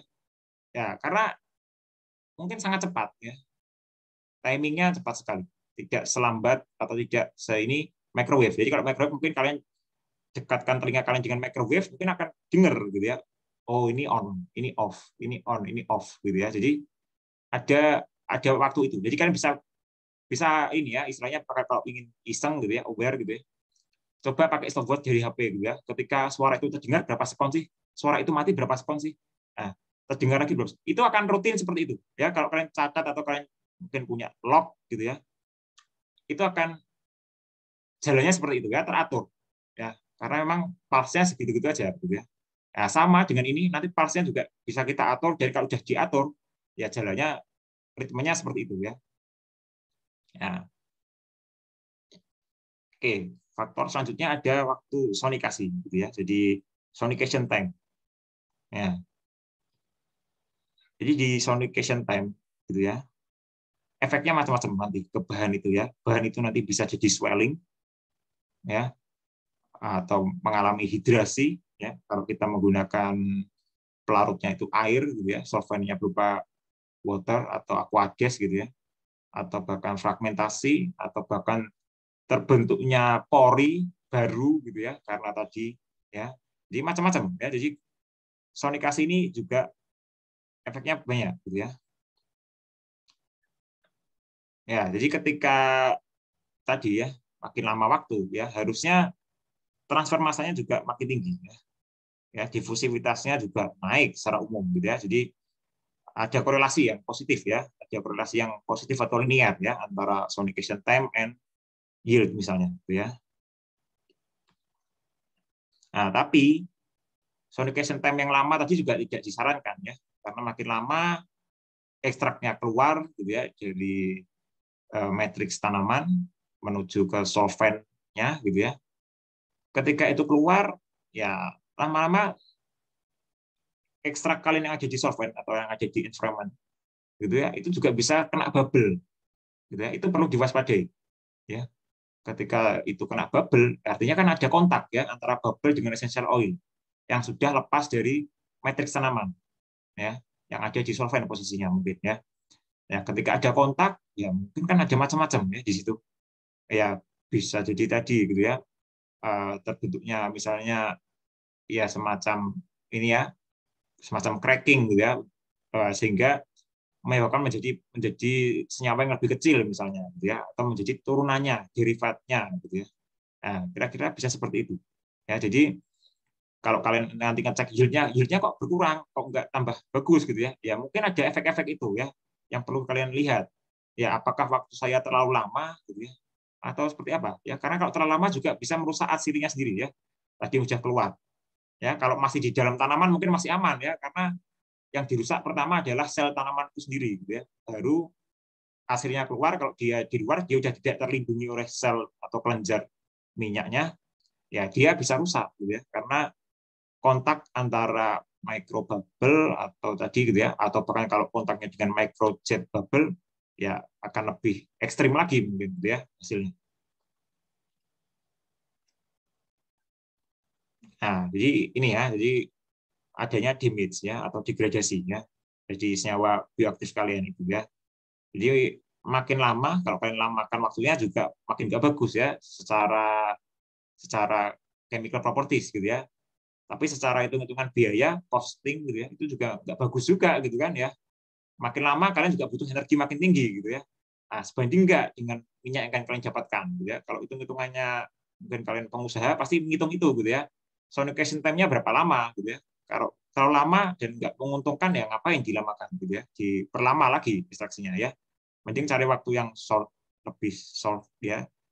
Tapi range-nya cukup menguntungkan gitu ya sudah cukup ya. Dan juga tidak merusak minyak asilia sendiri. Ya. Ya selanjutnya ada ini ya jenis jenis jenis sistem ya dari ultrasound sendiri ya. Ya jenisnya ini biasanya dilihat dari ininya ya letak atau atau atau bentuk probe-nya atau ini ya tata tata letaknya dari probe ini gimana di dalam sistemnya gitu ya. Ini mungkin nanti ada beberapa yang mungkin kalian bisa lihat gitu ya. Ya, ini ya. Ini saya berikan tiga ilustrasi saja sebenarnya ya. Jadi yang di sebelah kiri yang A ini gitu ya. Itu adalah reaktor ya, ultrasound ini ya. Ultrasound reaktor yang A itu ya. Jadi ini probe-nya adalah ini ya. Ultrasound-nya menggunakan probe seperti ini. Ya. Jadi ini reaktor, yang ini adalah batch. Ya, tipe batch ya. Jadi ultrasound ini ya, ya. Transducer atau probe-nya ini adanya di bawah bed ya. Jadi ini letaknya di sini. Ya. Kalau ini yang namanya uh, ultrasound probe atau tanduk getar atau horn gitu ya. Jadi ini langsung ada sedikit perbedaan gitu ya.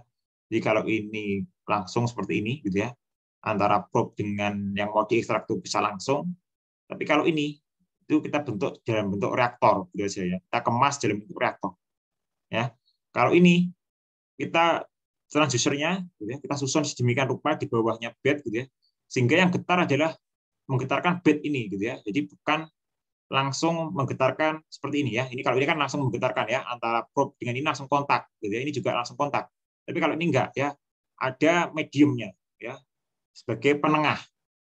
Ya, jadi sebelum sampai ke eh, ke matriks bahan atau reaktor, ini reaktor misalnya gitu ya ya sebelum sampai ke reaktor dia akan melewati ini mediumnya ya medium ini macam-macam ya bisa solvennya apa pun gitu ya. Jadi jadi bisa juga diatur jumlahnya gitu ya. Jadi jumlahnya atau volumenya medium ini berbeda gitu ya akan menghasilkan hal yang berbeda juga ya rangemen yang berbeda juga misalnya ya. Jadi ini penting ya desain ini ya. Jadi kalau kalau kalian scale up uh, ultrasound ya ini penting ya melihat atau menggunakan yang mana atau memilih jenis yang mana ya karena kekuatan masing-masing tipe ini berbeda ya mungkin source-nya sama gitu ya awalnya mungkin 40 kHz ini 40 kHz semua gitu ya tapi ketika sudah dibuat seperti ini gitu ya akan menghasilkan yang berbeda gitu ya kekuatannya beda ya 40 kHz di sini gitu ya dari yang C ini dengan di sini akan berbeda nantinya. Ya. Kalau kalau itunya berbeda, ya pasti range dan uh, ininya ya uh, chemical properties-nya pasti berbeda gitu ya. Jadi tidak bisa sama untuk ekstraksi material yang sama gitu ya. Jadi pasti bisa berbeda. Ya, jadi bentuk ini penting ya, desain ini penting. Ya, sama seperti sebelumnya, gitu ya, saya ingin bertanya, gitu ya, untuk untuk ini ya, untuk tipe ultrasound ini ya. Kalau saya tanya ya ke kalian, kira-kira yang paling mahal itu yang mana sih, gitu ya, dari ketiga tipe ini? Ah, sama ini ya, sama sebutkan alasannya ya, kalau menjawab. Saya ingin tanya ya ke Ayu Suci Lestari, mana Ayu? Ayu?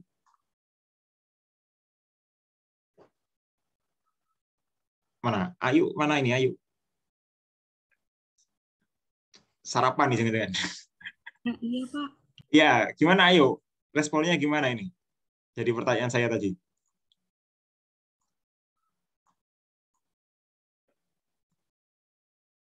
Gimana Ayu?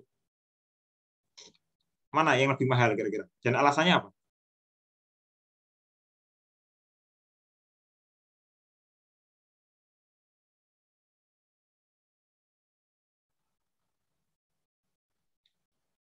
Gimana? Ya ini ini biar ini ya, biar kalian juga paham gitu ya. Kira-kira mana sih yang lebih mahal gitu ya dari tiga jenis ultrasound ini gitu ya. Kalau kemarin kan pertanyaannya microwave mana gitu ya. Sekarang ultrasound mana ya.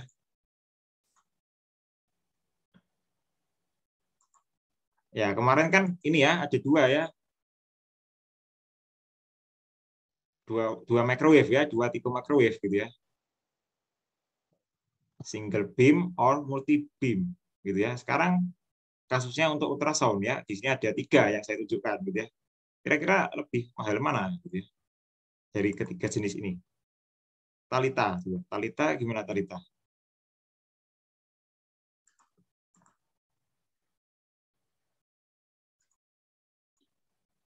Talita? Uh, iya Pak. Ya, gimana Talita? Uh,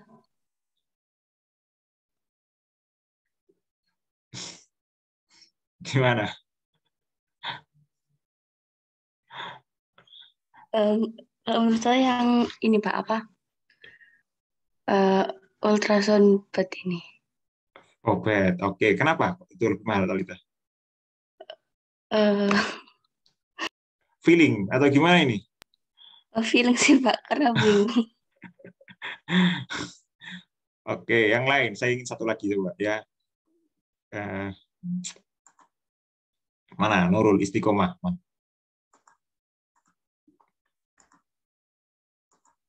Nurul Istiqomah. Ya. Gimana Nurul pendapatmu?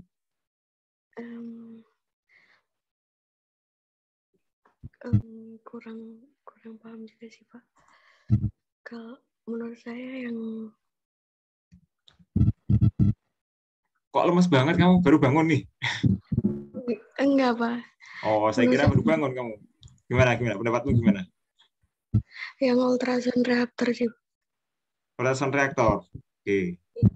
Ya. Kalau dari sini ya, dari tiga ini kalau saya minta membandingkan ya yang paling mahal yang pasti ultrasound reaktor harusnya, ya. Ya. Karena desainnya memang sudah didesain reaktor gitu ya. Jadi desainnya lihat aja ya. Di sini sangat kompleks ya, complicated ya.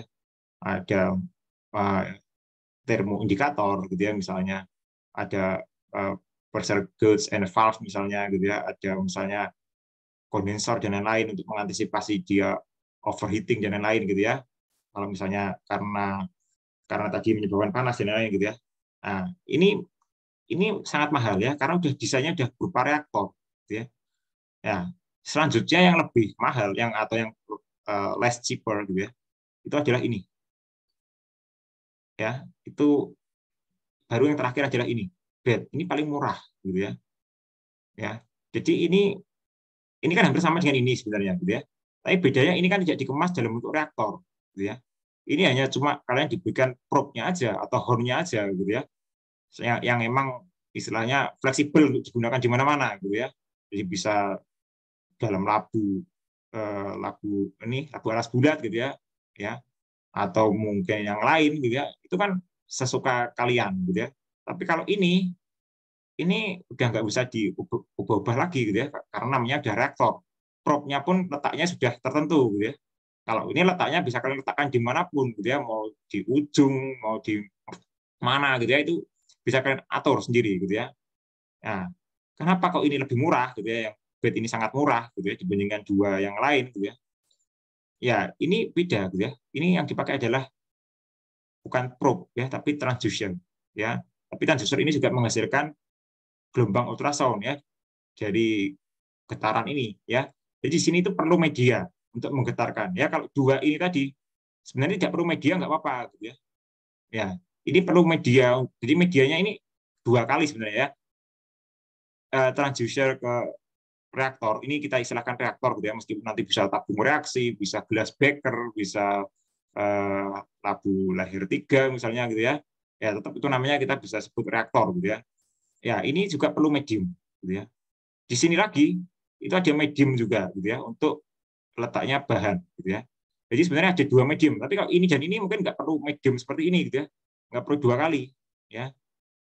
Kekuatan ultrasonnya juga berbeda ya karena ini dua medium pasti ketika nyampe di bahan kan lebih rendah ya.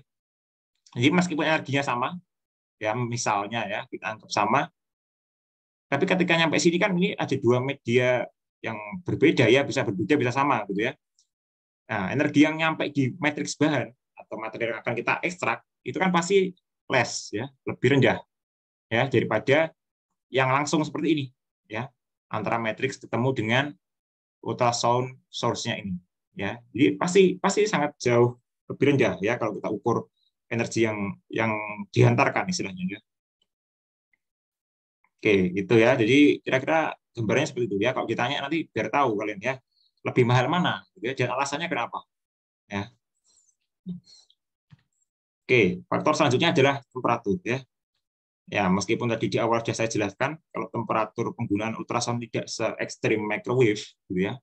Tapi di sini ultrasound juga bisa menaikkan temperatur ya, meskipun increase-nya istilahnya slowly, gitu ya. Jadi pelan, tapi pasti gitu ya. Pelan tapi pasti, tapi naik temperatur itu, ya. Jadi kalau kalian nanti suatu saat ini ya mengekstraksi misalnya minyak asli dengan eh, dengan ultrasound, ya kalian juga akan bisa merasakan ya media yang media atau software yang kalian gunakan tuh lama-lama hangat juga gitu ya meskipun panasnya tidak secepat menggunakan microwave gitu ya jadi kalau menggunakan microwave kemarin kita bisa lihat ya rate-nya sangat cepat kan ya. Mungkin hanya 1 sampai 3 derajat per menit gitu ya. Jadi satu eh, ah, maaf maaf ya. Maksudnya bisa 13 ya 13 derajat per menit gitu ya. Dibandingkan dengan konvensional kemarin yang cuma 1 sampai 3 derajat per menit gitu ya. Ya ini juga mungkin hampir sama dengan konvensional metode gitu ya. Jadi pemanasannya rate-nya sangat lambat, sangat bahkan mungkin malah lebih lambat daripada konvensional method gitu ya untuk uh, heatingnya gitu ya. Jadi kalau kemarin mungkin konvensional method itu 1 sampai 3 derajat per, sek, per menit gitu ya. Ini mungkin lebih lambat lagi. Gitu ya, mungkin di bawahnya konvensional method. Jadi increasing temperaturnya ya cukup lambat gitu ya. Tapi pasti, tapi tapi naiknya pasti gitu ya seiring berjalannya sonication time ya dia pasti increase ya temperaturnya pasti increase tapi setelah increase ya kalau suhunya terlalu tinggi juga ya ya udah udah mencapai peak value-nya ya ya jadi peak value-nya untuk penggunaan ultrasound ini bisa di bawah titik didih ya jadi kalau konvensional method atau microwave acid extraction peak value dari ini gitu ya boilingnya itu bisa terlampaui atau bahkan sama gitu ya tapi kalau menggunakan ultrasound ini malah cenderung kita di bawahnya, gitu ya, under. Ya. Jadi kalau di bawahnya, ya resiko degradasi sebenarnya lebih minim ya, tapi meskipun di bawahnya juga degradasi kan tetap ada ya, potensi itu tetap ada. Ya, jadi kita tetap perlu memperhatikan temperaturnya ya. Makanya tadi di desain alat yang reaktor tadi ada temperatur indikator ya atau bahkan di reaktor yang bagus gitu ya ada eh, untuk regulator waktunya, eh, temperaturnya gitu ya. Jadi temperaturnya juga diatur ya. Jadi selain setting waktu, selain pulse-nya, frekuensinya gitu ya, power density-nya gitu ya, juga ada setting untuk temperatur ya. Jadi di temperatur berapa dia segitu ya, tidak bisa melebihi itu. Jadi di reaktor-reaktor yang bagus, ya reaktor ultrasound yang bagus juga ada itu ya untuk regulator atau untuk pengatur atau controller gitu ya. Ya, temperatur kontrolernya ada gitu ya. Jadi untuk mengatur suhu berapa yang kita inginkan. Ekstraksi kita ingin di suhu berapa? 60 derajat kah atau 50 derajat kah? Gitu itu bisa. Nah, bisa kita atur. Ya, jadi temperatur ini penting gitu ya. Ya, karena temperatur ini kan pastinya juga ini ya mempengaruhi solubility-nya gitu ya. Jadi yang mau kita ekstrak ya. Jadi ya mungkin kalian belajar gitu ya secara umum makin tinggi suhu kadang-kadang beberapa senyawa juga cenderung makin larut, kelarutannya makin tinggi gitu kan ya. Ya, sama seperti itu. Ya, makin tinggi suhu juga dimungkinkan minyak asin itu makin soluble ya di dalam solvent yang kita gunakan. Ya, harapannya seperti itu gitu ya. Tapi di sisi lain tadi kan juga nggak bagus ya, karena karena kalau makin banyak soluble dan waktunya makin lama, ya suhunya juga misalnya tinggi, ya bisa rusak juga ya, degradasi lagi gitu kan ya. Jadi makanya semua parameter itu saling terkait ya satu sama lain tidak ada yang terpisah istilahnya jadi kalau kalian meninjau temperatur ya paling tidak juga ditinjau juga waktu ekstraksinya seperti apa gitu ya. Jadi karena ada keterkaitan satu dan lain ya. Ya misalnya ada keterkaitan untuk hubungan mass transfernya seperti apa gitu ya. Heat transfernya beda nggak sih dengan microwave yang kemarin seintens itu gitu ya. Ya terus difusivitasnya gimana? Pelarut itu bisa masuk ke matriksnya material, plan materialnya gitu ya. Atau sebaliknya gimana difusinya uh, minyak asidik ke environmentalnya gitu ya, ke lingkungannya, ke solventnya gitu ya, dalam ini ya, dalam konteks ini gitu ya. Nah, itu juga perlu ditinjau ya. Ya, karena secara nggak langsung kalau solventnya panas gitu ya, itu kan juga bisa merubah physical properties dari solvent ya. Misalnya ya viskositasnya berubah ya. Mungkin kalian kalau sudah pernah praktikum viskositas gitu ya ya bisa menguji atau mempelajari pengaruh temperatur derajat viskositas kan juga punya pengaruh ya sedikit banyak ada pengaruhnya ya makin rendah temperatur gimana viskositasnya ya. Makin tinggi temperatur gimana viskositasnya ya. Makin encer atau makin kental gitu ya. Ya itu kan juga berubah ya. Ya tegangan permukaannya berubah ya. Eh, surface tensionnya berubah ya. Jadi secara nggak langsung gitu ya, Eh, temperatur ini juga mempengaruhi solventnya juga ya. Karakteristik solventnya akan berubah ya. Jadi cukup penting menurut saya ya makanya kalau saya penelitian pun gitu ya temperatur ini juga salah satu yang saya optimasi istilahnya ya. Jadi saya perhatikan ya saya optimasi kita hubungkan dengan minyak asin yang didapatkan ya baik itu kualitas ataupun kuantitasnya ya. Ya selanjutnya ada particle size. Ya, di sini juga unik. Ini biasanya sering digunakan oleh mahasiswa gitu ya untuk dijadikan suatu variabel gitu ya. Ini mungkin yang paling proven gitu ya. ukuran partikel atau ukuran bahan gitu ya. Ya, ini yang paling proven biasanya ya. Jadi biasanya ada mindset kecilkan aja bahannya gitu ya, sekecil mungkin gitu ya. Ya, tapi kenyataannya juga tidak bagus juga yang semakin kecil ya. Kalau makin kecil, kenapa nggak dibuat nano aja gitu ya bahannya? Ya, ya karena makin kecil gitu ya. Ya, ya harapannya, harapannya ya, harapannya makin kecil itu kan mengurangi ini ya Eh, transfer masanya bisa lebih cepat gitu ya. Karena luas areanya lebih besar juga ya. Harapannya kontak antara partikel eh, atau matriks tanaman dengan solvent itu kan juga lebih besar. Harapannya kan seperti itu ya. Tapi makin kecil juga nggak bagus ya. Karena dalam tahap perajangan atau pengecilan ukuran gitu ya ya itu pasti akan ada panas gitu ya yang yang yang apa ya yang ada ketika proses pengecilan itu terjadi gitu ya. Entah kalian gunakan alat apa pun pasti ada ya. Jadi di situ dimungkinkan minyak asiri kalian sudah loss sebenarnya ya. Jadi lossingnya itu banyak sebenarnya ya. Kalau kita penelitian minyak asiri ya loss itu pasti ada ya, pasti terjadi. Ya. Tapi se, se kita bisa memanajemen loss itu seminimal mungkin gitu ya. Ya, jadi kalau kalian bilang nggak loss itu nggak mungkin ya kalau asiri ya.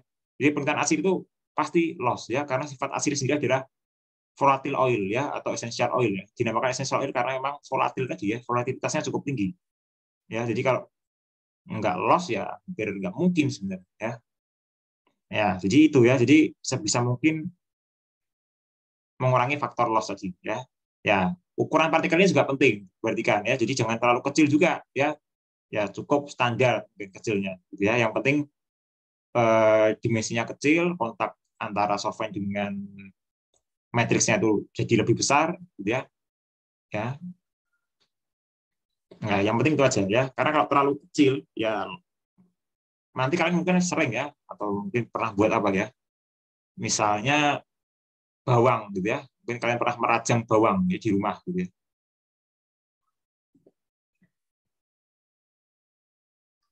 Ya, misalnya kalian pernah merajang bawang di rumah, gitu ya. Itu kalau kalian cacah semakin kecil itu kan bawang itu kayak seolah-olah kalian pegang itu kan kayak makin basah gitu ya. Ya.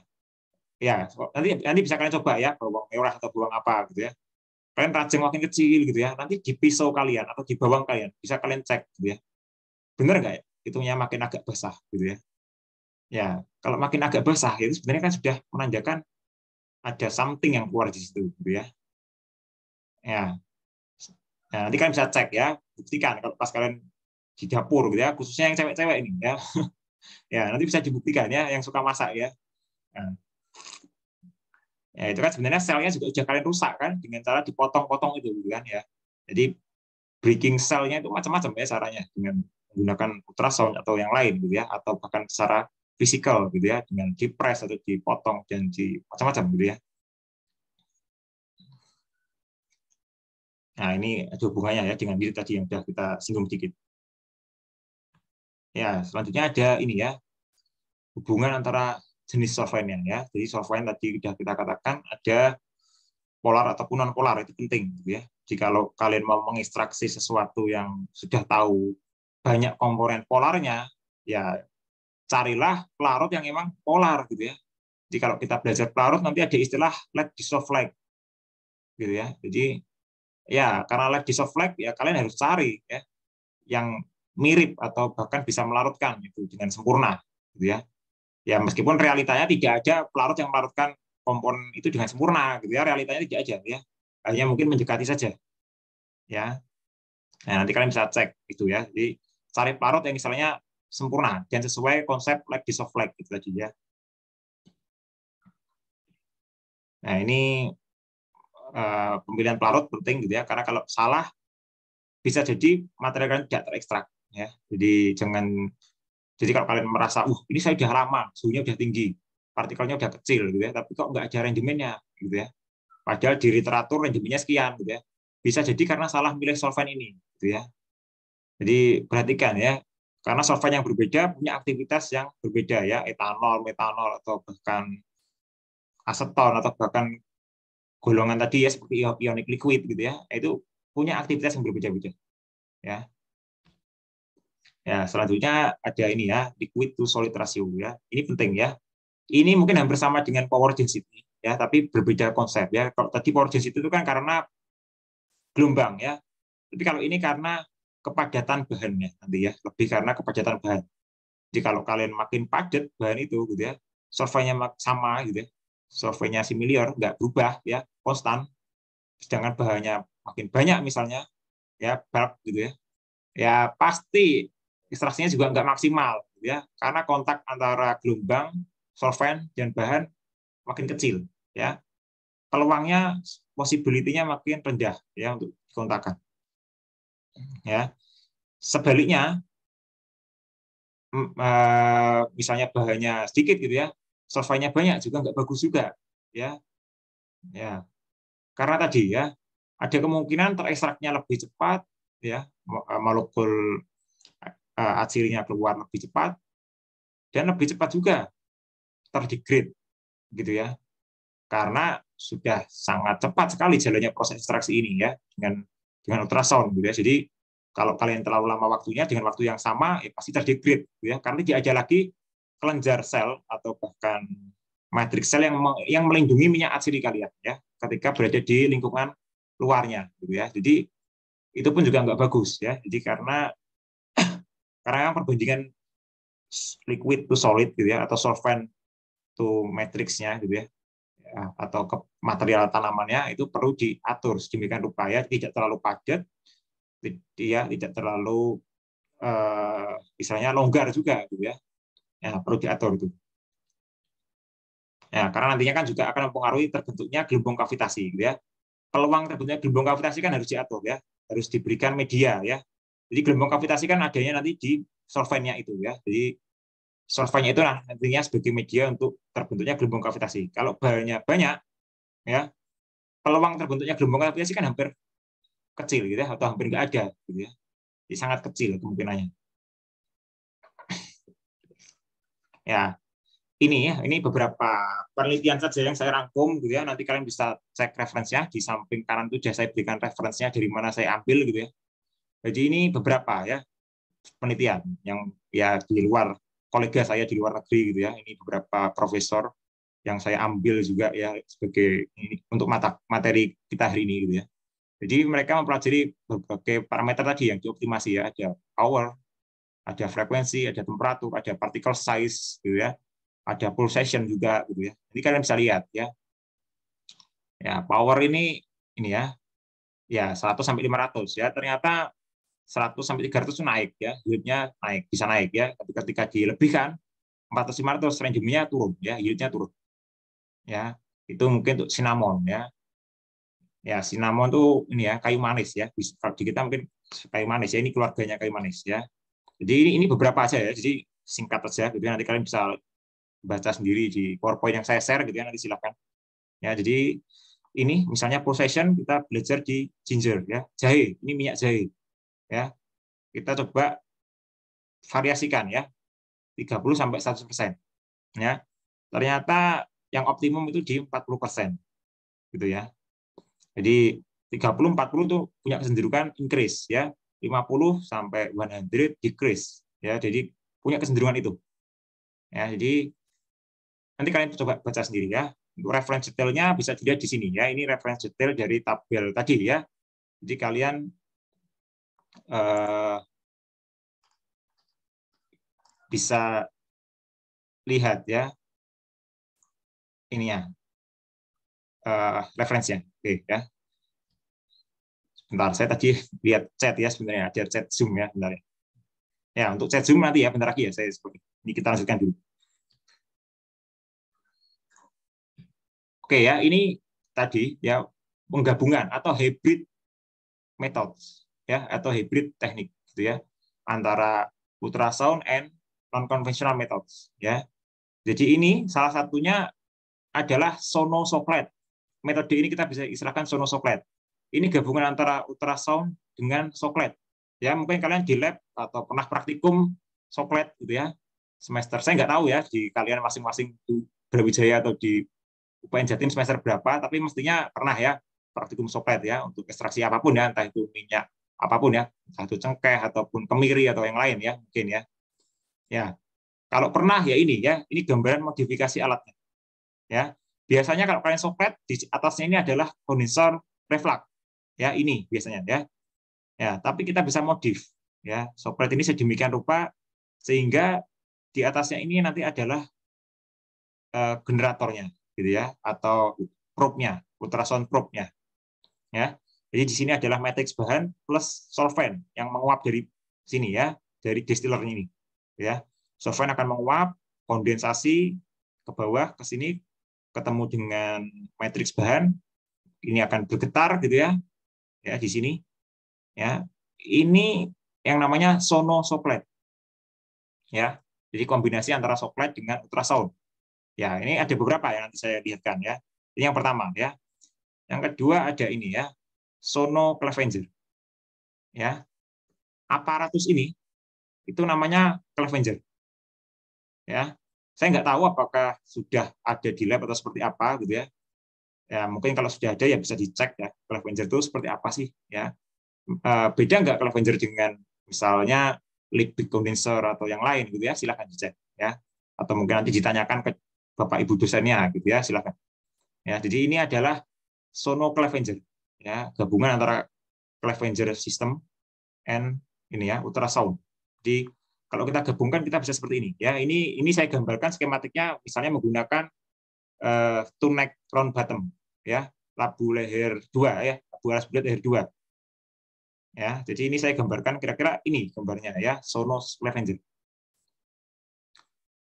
Ya, terus yang ketiga ada ultrasound assist enzymatic extraction ya jadi ini dikombinasikan dengan enzymatic extraction jadi kalau ada ekstraksi menggunakan enzim kita bisa combine ya antara penggunaan enzim dengan ultrasound ya jadi kita bisa combine sehingga molekul ini gitu ya. Jadi kalau kalau kalian belajar enzim itu kan ada ini ya mungkin pernah ini ya ada kinetika enzimatis kan ya Michaelis Menten itu ya. Nah itu kan ada lock and key gitu sistemnya ya kalau kita belajar enzimatis gitu ya. Mungkin ada yang sudah ngambil biokimia saya nggak tahu pilihan atau gimana gitu ya. Ya ada sistem lock and key dan ada sistem uh, site aktif site-nya ya sisi aktifnya ya jadi penggunaan ini juga bisa mempercepat itu gitu ya. Ketemunya substrat enzim gitu ya and key gitu ya. Nah kalau kita belajar ke Michaelis Menten ya tentukan konstanta kinetiknya gitu ya mungkin ini juga akan lebih cepat ya. Harusnya ada perbedaan ya. Jadi kalau di sini contohnya ini ya proteinnya lebih tinggi ya. Rendemennya lebih jumlahnya kuantitasnya lebih banyak ya. Terus misalnya kadar atau atau antioksidan komponnya juga lebih tinggi dibandingkan dengan yang hanya enzimatic extraction aja tanpa ultrasound gitu ya jadi ultrasound cukup punya efek ya nah ini yang ketiga ya Selanjutnya yang keempat kita bisa combine dengan mechanical pressing. Ya. Contoh ya, yang bisa di pressing adalah minyak kulit jeruk contohnya gitu ya. Jadi setelah kalian jeruk itu kalian pressing ya, pasti ada kick ya. Jadi kalian ada hasilkan kick, kicknya itu bisa kita ekstrak lagi ya. Jadi kalau kick itu kalian pressing lagi kan pasti nggak bisa ya, udah maksimal mungkin ya. Tapi kick ini selanjutnya kalian bisa uh, tandemkan gitu ya atau kalian bisa riliskan ke ultrasound ya. Ini kalau di sini saya menggambarkannya bed ya. Jadi jangan dengan berpikir pressing ini ya dengan ultrasound yang bed gitu ya, jangan ya. Pressing ini bisa juga dengan ultrasound yang reaktor yang tadi eh, yang bentuknya horn tadi juga bisa gitu ya. Tapi ini untuk skematik kalian biar mudah saya gambarkan reaktornya adalah bentuknya berupa bed seperti ini gitu ya. Ya, jadi cake tadi hasil dari pressing kita bisa ekstraksi lagi ya dengan menambahkan solvent tertentu ya yang yang istilahnya tadi ya like and dislike konsepnya ya sehingga di sini kalian dapat minyak ya kan cake ini plus oil gitu ya pastinya nantinya hasilnya ya oilnya dapat cake-nya kalian juga dapat cake-nya ini kita bisa pindahkan ke sini gitu ya. Untuk dapatkan essential oil lagi jadi double ya. Itu namanya kombinasi ya antara mechanical pressing dengan ultrasound ya. Kita bisa seperti itu. Ya selanjutnya ini ya. Ini sudah masuk yang dengan kombinasi dengan yang non konvensional metode ya. Salah satu yang umum itu adalah kombinasi antara microwave dengan ultrasound ya. Atau kita bisa kenal dengan istilah ultrasound microwave acid extraction. Ya. Itu sudah sangat umum ya. Jadi kita kombinasikan seperti ini. Dalam satu alat, satu waktu, satu kesatuan gelombang ultrasound jalan, gelombang mikro juga jalan gitu ya. Jadi ada dua gelombang yang bekerja secara bersamaan ya untuk melakukan ekstraksi ini gitu ya. Jadi ini ya, ini contohnya banyak ya. Ini ini ada beberapa tanaman ya. Target komponnya apa gitu ya. Ada yang ada yang warna, ada yang polisakarida dan minyak atsiri gitu ya. Ada yang macam-macam. Ya, ada yang hanya pektin, ada yang ekstraksi pati gitu ya dan polifenol, ada yang misalnya oligosakarida atau bahkan nanti polisakarida pun ada gitu ya. Jadi target komponnya macam-macam. Ya. Tapi kembali lagi semua itu disesuaikan dengan parameter yang tadi saya jelaskan ya, ada 9 atau 8 tadi gitu ya. Nah, disesuaikan dengan itu intinya ketika kalian menggunakan metode ini. Nah, terus yang kedua ada tipe seperti ini gitu ya. Jadi kita bisa combine tiga metode secara langsung gitu ya, enzymatic extraction, microbe acid extraction, and ultrasound acid extraction. Ya, kita bisa combine tiga-tiganya. Combine ini macam-macam. Ya, bisa terpisah seperti ini ya ini itu ini tuh tipe yang istilahnya terpisah gitu ya. Enzimatiknya kita lakukan dulu baru kita microwave baru hasilnya lagi kita ultrasound. Tapi bisa juga kita balik urutannya ya. Tapi dengan membalik ini juga akan ini ya rendemennya akan berbeda gitu ya. Kualitasnya juga akan berbeda. Pasti itu ya jadi itu pasti. Makanya urutannya ini juga mempengaruhi ya ultrasound dulu atau enzimatik dulu atau nanti mikrofilm terakhir misalnya juga akan berbeda tentunya. Ya, jadi tidak mentang-mentang kita gunakan tiga-tiganya ini rendemen dan kualitasnya sama ya, enggak ya. Jadi ini yang perlu diperhatikan. Ya. Oke ya. Ini gabungan antara supercritical carbon dioxide gitu ya dengan uh, ultrasound acid extraction. Ya. Kalau saya buat skematik representasinya ya kira-kira seperti ini ya. Jadi di sini kita ingin ngekstrak gitu ya. Jadi ya sesuai namanya gitu ya. Supercritical CO2 ya ini pasti ada tangki CO2-nya gitu ya sebagai kariernya gitu ya. Jadi pasti ada itu ya. Jadi ini ada reaktor supercriticalnya ya. Ini nanti kita bisa gabung gitu ya.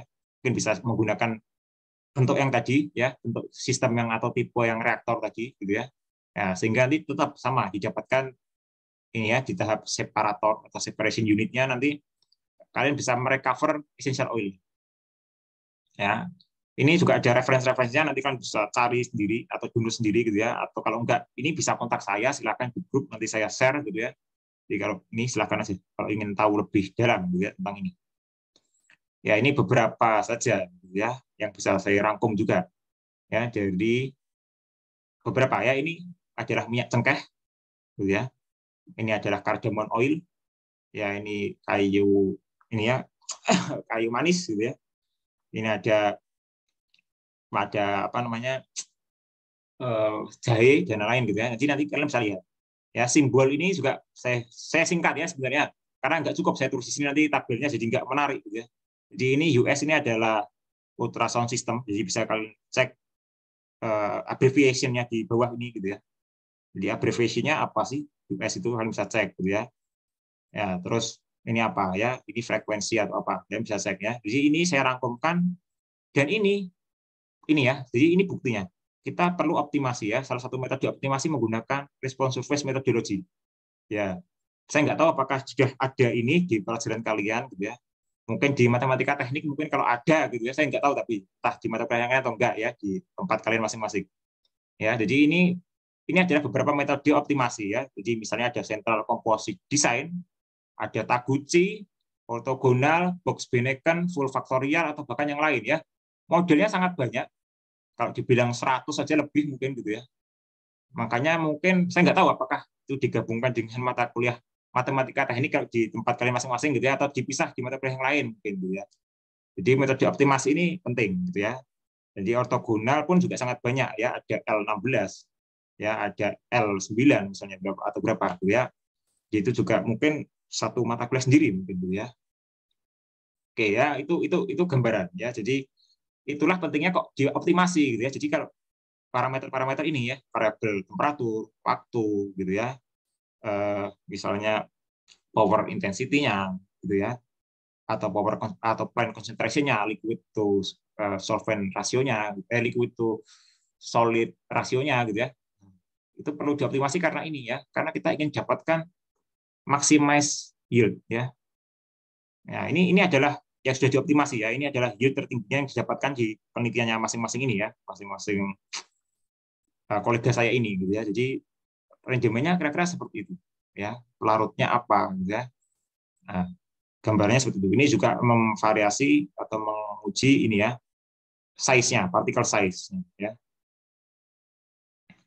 Oke ya, itu nanti kan bisa bisa coba cek detailnya ya karena kita ini ya waktunya juga sudah mepet ya. Oke ya ini referensinya. Ini referensinya dari tabel tadi ya. Bisa kalian cek.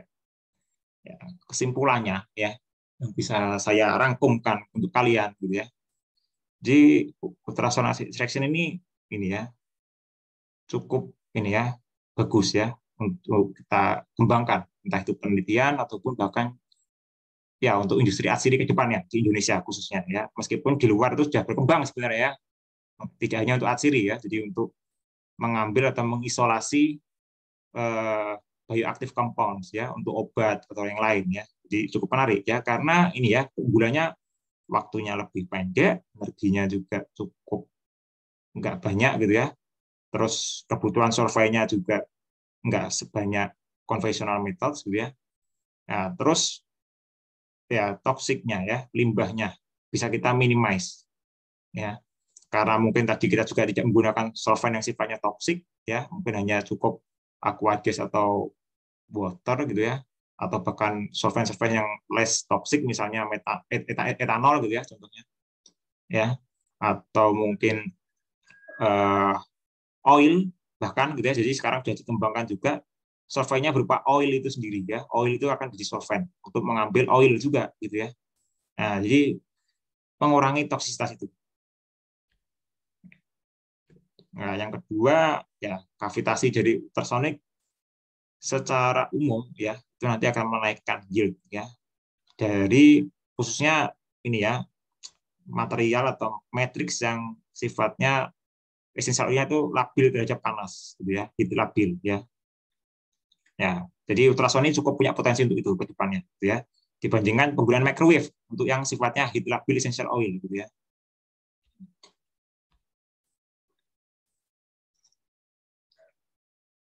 Ya, jadi limitasinya atau keterbatasannya dari UAE ini untuk di scale up mungkin ini ya, desainnya. Ya. Bagaimana cara mendesainnya sehingga gelombang itu sifatnya uniform atau homogen ya. Di titik atau sudut mana pun hampir sama gitu ya. Itu itu sulitnya di situ ya.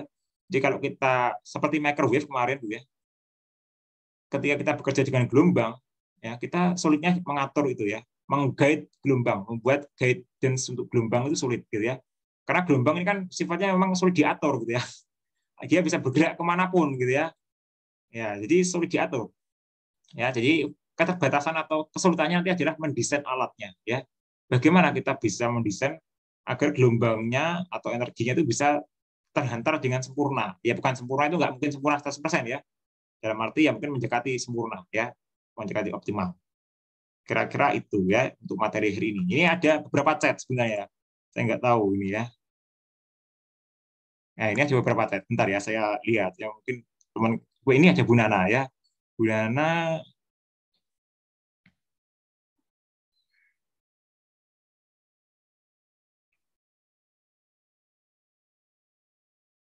Nah, untuk Bu Nana ini lebih ke scale up, Bu.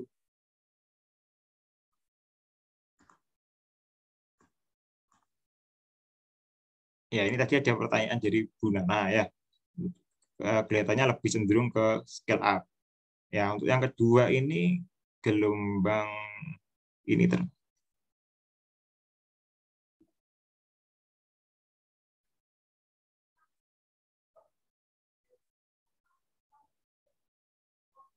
Ah, gelombang ini, jadi kalau microwave itu kita bisa katakan gelombang elektromagnetik, ya. Tapi kalau gelombang ultrasound itu mungkin ya hanya wave aja, bukan elektromagnetik ya, karena eh, karakternya berbeda Bu untuk yang gelombang ultrasound ini. Jadi kalau ultrasound ini mungkin hanya sebatas gelombang saja, tapi bukan gelombang elektromagnetik. Jadi yang termasuk gelombang elektromagnetik ini ya salah satunya kemarin mungkin ya penggunaan microwave untuk ekstraksi itu. Jadi kalau itu mentransferkan gelombang secara langsung, tapi kalau ini sebenarnya tidak. Sebenarnya yang bergerak, yang digerakkan itu kan medianya. Jadi medianya atau lingkungannya berupa solvent tadi. Jadi eh, gelombang ditransfer dulu ke solvent atau lingkungan, lingkungan nanti akan menggerakkan. Tapi berbeda dengan microwave. Kalau microwave dibilang gelombang elektromagnetik karena karena di sana ada interaksi eh, ini eh, polar dan dipolar itu penting. Jadi polar atau non polar itu nanti penting karena nanti ada konstanta di elektrik namanya. Jadi kalau kita kemarin mungkin saya juga agak kelupaan gitu ya. Nah, kalau di uh, gelombang uh, gelombang microwave ketika ekstraksi kalian perlu lihat ya pelarut kalian ini punya konstanta di elektrik berapa nilainya. Tapi ketika kita gunakan ultrasound kita nggak perlu tahu atau bahkan ya tidak perlu ini ya terlalu paham juga dengan berapa konstanta di elektrik dari pelarut yang kita gunakan. Ya, kita mungkin cukup tahu polar dan non polar.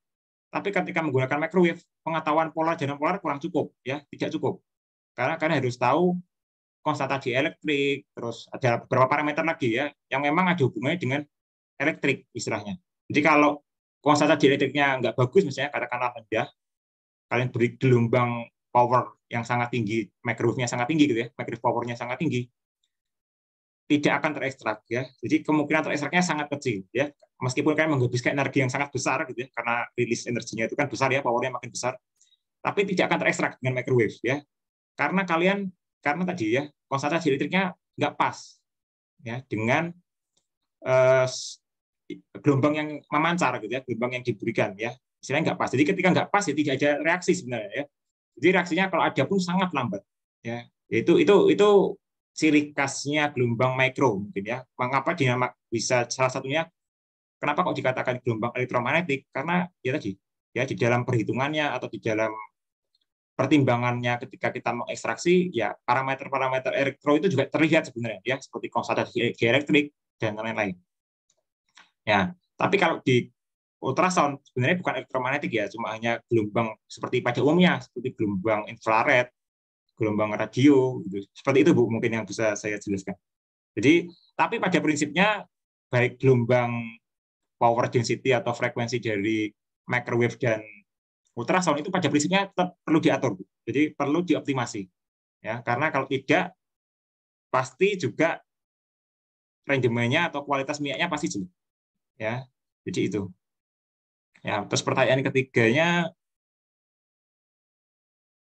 ah ini unik pertanyaannya Bu ini ya Bu Nana. Ya di pertanyaan ketiganya Bu Nana tanya ya untuk sterilisasi virus gitu ya. Kalau kita menggunakan microwave sebenarnya suhunya tidak perlu disetting tidak apa-apa ya, tidak perlu di set di suhu tertentu tidak apa-apa karena karakternya asalkan sebenarnya gini pada dasarnya kalau virus itu punya kita tahu konstanta dielektrik dari virus gitu ya atau dari covid lah katakanlah atau virus yang lain gitu ya sebenarnya ketika dia punya konstanta dielektrik yang tinggi atau cocok dengan microwave kita hangatkan bentar aja mungkin jadi satu menit sudah mati pasti gitu ya. Jadi itu pasti itu ya. Jadi mungkin hanya beberapa sekon aja atau detik aja virus ini bisa ini ya istilahnya pasti mengalami mati gitu ya. Jadi mengalami kematian ya mencapai fase kematian dia. Jadi tidak perlu yang lama atau kita set suhu berapa sekian menit gitu nggak perlu. Jadi ya contoh paling gampang gitu ya. Jadi kalau misalnya di free itu paling kelihatan ya jadi kalau di solvent free microwave extraction kita mengekstraksi tanaman daun gitu ya misalnya kita berikan gelombang secara langsung tanpa solvent, ya daun itu kalian bisa amati. Nanti mungkin nggak sampai satu menit akan berubah menjadi coklat langsung, gitu ya. Ya itu daun ya dengan kadar air yang tinggi. Ya sedangkan virus itu kan sangat kecil dan mungkin kalau kita bandingkan dengan daun tadi kan nggak ada apa-apanya ya ukurannya sangat sangat kecil. Jadi kalau kita bisa tahu virus itu panjang gelombang uh, konsentrasi elektriknya berapa, ya bisa kita katakan dan kalau cocok ya mungkin nggak lama-lama bu. Mungkin hanya sebentar aja cukup sudah sudah selesai gitu ya. Nah tapi yang perlu dipastikan adalah apakah yang dipakai itu oven atau microwave ya. Karena oven dan microwave kan berbeda ya. Jadi kalau oven ya memang untuk pemanasan tapi kalau microwave itu kan berdasarkan gelombang ya jadi kalau microwave itu berdasarkan radiasi kerjanya tapi kalau kalau apa namanya oven itu kan konduksi konveksi ya jadi berbeda satu satunya satu jenisnya berbeda ya jenis eh, penghantaran panasnya berbeda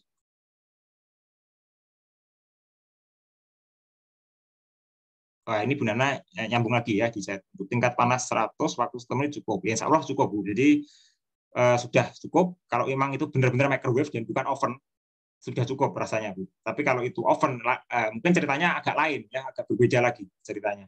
Ya, karena mekanismenya tadi berbeda ya. Satunya radiasi, satunya konduksi konveksi. Jadi berbeda ya. Jadi kalau oven itu cenderung konvensional, tapi kalau microwave kan termasuk salah satu yang non konvensional. Ya, kira-kira seperti itu. Mungkin ada lagi jadi mahasiswa atau ini Bu Nana lagi silakan monggo. Ya, silakan kalau ada pertanyaan ya. Ini ada lagi Pak Heri Siapa? dari Alzanadila. Ya. Dia tidak bisa on mic karena error laptopnya. Oh, ya Ini apa-apa. untuk waktu operasi UAE itu bagaimana Pak ya? Kalau misalnya untuk microwave kan dihitung dari tetesan pertama. Nah, Hmm. kalau untuk waktu operasi untuk UAE bagaimana? Monggo Pak. Oke ya. Jadi untuk UAE karena karena horn atau karena mungkin bed itu kontak langsung dengan solvent dan dan matriks bahan yang mau diekstraksi gitu ya. Waktunya bukan dihitung dari waktu tetes pertama seperti microwave ya. Kalau microwave itu kan kita terpisah, ada kondenser ya. Ada kondenser ya entah itu apa pun ya, entah itu berupa Liebig, reflux atau bahkan Clevenger atau yang lain gitu ya, terserah kondensernya apa pun ya, ulir bahkan gitu ya. Ya, bisa jadi seperti itu ya. Itu oil itu kan separate ya dengan matriks tanaman ya terpisah ya. Jadi tapi kalau ini kan satu tempat satu satu ini ya di, kalau kita pakai tadi bed misalnya ya tetap atsiri yang teresak ya di situ di bed itu gitu ya. Nggak nggak bisa ke mana-mana ya. Jadi cara ngitung waktunya ya dari pertama kalian menghidupkan gelombang ya. Jadi kalian menghidupkan gelombang itu langsung timer hidup ya. Kalau di beberapa tempat yang udah bagus gitu ya ketika kita on kan udah setup peralatan gitu ya, udah setup peralatan, alat eh, bahan-bahan matriksnya ini sudah kita masukkan, kontrol suhunya udah kita atur sedemikian apa, suhunya berapa yang mau kita mau gitu ya. Terus alat ini jalan berapa ini menit gitu ya atau detik gitu ya. Nah, itu dihitung dari pertama kali start ya. Startnya alat ini berapa? Ya, ketika gelombang pertama kali getar. Jadi kalau ultrasound nanti suaranya itu kayak kayak suara jangkrik gitu mungkin ya hmm, kayak suara, ya kayak suara jenggot atau ngengat gitu ya. Jadi eh, suaranya seperti itu ya. Pulse-nya itu cepat ya. Jadi jadi kita nggak nggak bisa ngitung atau atau nggak bisa nunggu tetes pertama karena bukan kondensasi juga pada prinsipnya ya. Pada prinsipnya bukan kondensasi karena oilnya akan bercampur dulu dengan solvent gitu ya. Nah, baru nanti kita bisa proses lagi ya, kita murnikan mungkin dengan distilasi atau mungkin dengan vakum atau yang lain bisa gitu ya. Jadi yang penting adalah ketika kalian start alat itu ya udah langsung aja hitung waktunya. Atau kalau alat itu sudah punya time time eh, time controller, ya kalian nggak nggak usah hitung waktu. Misalnya kalian setting dua menit ya pasti dua menit selesai gitu ya. Nah, kira-kira seperti itu.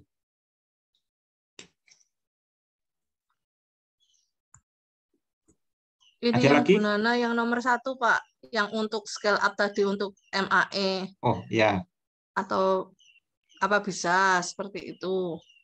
Sebenarnya bisa Bu scale up MAE. Sebenarnya saya sendiri pun juga sedang men-scale up itu. Jadi jujur aja, nah, tapi karena MAE ini ya bagus gitu ya, bagus. Tapi di satu sisi safety-nya yang belum kita dapatkan Bu, kuncinya. Jadi MAE ini kalau salah penggunaan, safety-nya salah, bisa-bisa kita yang kena radiasinya. Dan kalau kita kena radiasinya itu kan bisa jadi cacat seumur hidup gitu ya. Jadi kalau kita kena kita itu nggak kerasa ya karena ini kan ini, ini kan gelombang ya jadi gelombang itu kan nggak bisa dicium nggak bisa dirasakan gitu ya jadi kalau kita kena ya kita nggak tahu apakah organ dalam kita itu sudah sudah ini ya istilahnya sudah kena atau enggak nah karena itu bu jadi selama ini saya juga masih riset ya istilahnya untuk mengembangkan eh, uh, scale up-nya MAI ini. Jadi saya pun juga kolaborasi dengan ini, Bu. Peneliti dari Oregon State University, dari Amerika sana, dia sudah ini agak punya besar gitu MAI-nya. Nah, saya mencoba ya menduplikat atau berkolaborasi dengan dia gitu ya untuk menemukan gimana besarnya ini safety-nya seperti apa ngaturnya. Karena karena yang kita hadapi itu kan gelombang gitu kan. Yang arahnya memang sangat sulit dikendalikan. Ya, jadi kita memang kendalanya itu sementara ini. Jadi sementara ini belum ada rilis scale up itu karena karena itu. Jadi kalau potensi ke depan insya ada Bu. Jadi kalau misalnya sudah alat ini sudah proven, sudah teruji, safety-nya sudah bagus, kita sudah tahu titik atau ketemu kuncinya, ya mungkin kan bisa jadi dipasarkan juga nantinya ke depan, gitu kan? Karena karena mungkin menarik juga kalau misalnya semua petani Indonesia mengarahnya menggunakan MAE ke depannya misalnya. Ya, jadi kalau saya mungkin selama ini masih seperti itu, Bu. Selama, jadi kalau di Indonesia mungkin belum ada, tapi kalau di luar di Oregon yang kolega saya itu dia sudah ya sudah, sudah cukup besar lah menurut saya. Microphone sudah masuk pilot skill.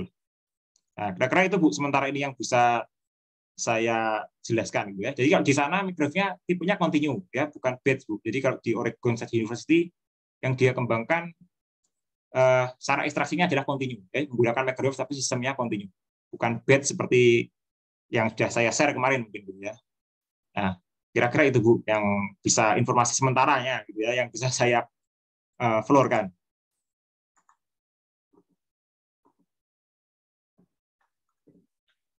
Ya, oke, ada lagi silakan mungkin yang mau ditanyakan ya untuk untuk topik ini ya. Jadi saya saya sendiri pun juga sampai sekarang masih meriset gitu ya, ya mahasiswa semuanya gitu ya. Jadi ya riset ini masih panjang sekali pastinya gitu ya. Jadi masih banyak yang perlu dipelajari ternyata ya. Jadi kalau kita belajar dengan gelombang, ya ilmu kita di teknik kimia juga masih kurang ya. Saya sendiri pun merasa masih kurang ya. Jadi saya pun juga perlu orang teknik fisika gitu ya. Ya, jadi jadi masih masih perlu ya. Jadi kita perlu orang teknik elektro gitu ya. Ya, jadi multidisiplin lah sebenarnya ya untuk untuk tema ini ya. Oke, ada yang mau ditanyakan? Silakan. Kalau ada lagi.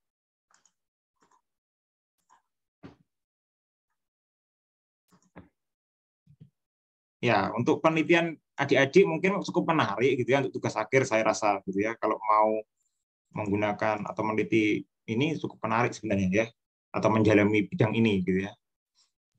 Iya Pak Heri, doakan ini ada bimbingan saya yang menggunakan ultrasonik Pak. Insya Allah mau dicoba. Nah, nanti kalau kalau kalian sudah mencoba itu gitu ya, nanti coba ya bisa membedakan nggak pulse-nya itu tadi ya yang saya tadi bilang. Tapi yang dengar, Pak. Iya. Iya, tetap sama ya. Jadi nanti entah itu ya. entah itu reaktor, entah itu yang horn, pulse-nya ada, cuma kalian nanti bisa nggak membedakan itu on atau off gitu ya. Nah, itu kuncinya di situ ya. Jadi nanti kalian sebenarnya kalau tahu sebenarnya enak gitu ya. Oh dalam waktu 10 menit itu ada on sekian kali, ada off sekian kali gitu ya. Nah, apakah kalian bisa aware dengan on off-nya itu gitu ya? ya itu itu itu itu itu kalau sudah sering itu pasti aware gitu ya. Oh ini on, ini off, ini on, off gitu ya.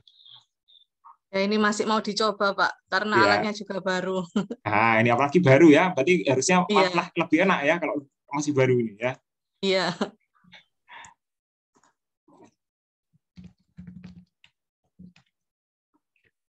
Ya oke, ada lagi enggak pertanyaan? Kalau enggak enggak apa-apa. Ini ada tugas dari saya nanti ya untuk hari ini ya. Ada pertanyaan kah kira-kira? Kalau enggak enggak apa-apa. Ini saya share tugasnya. Kalau enggak.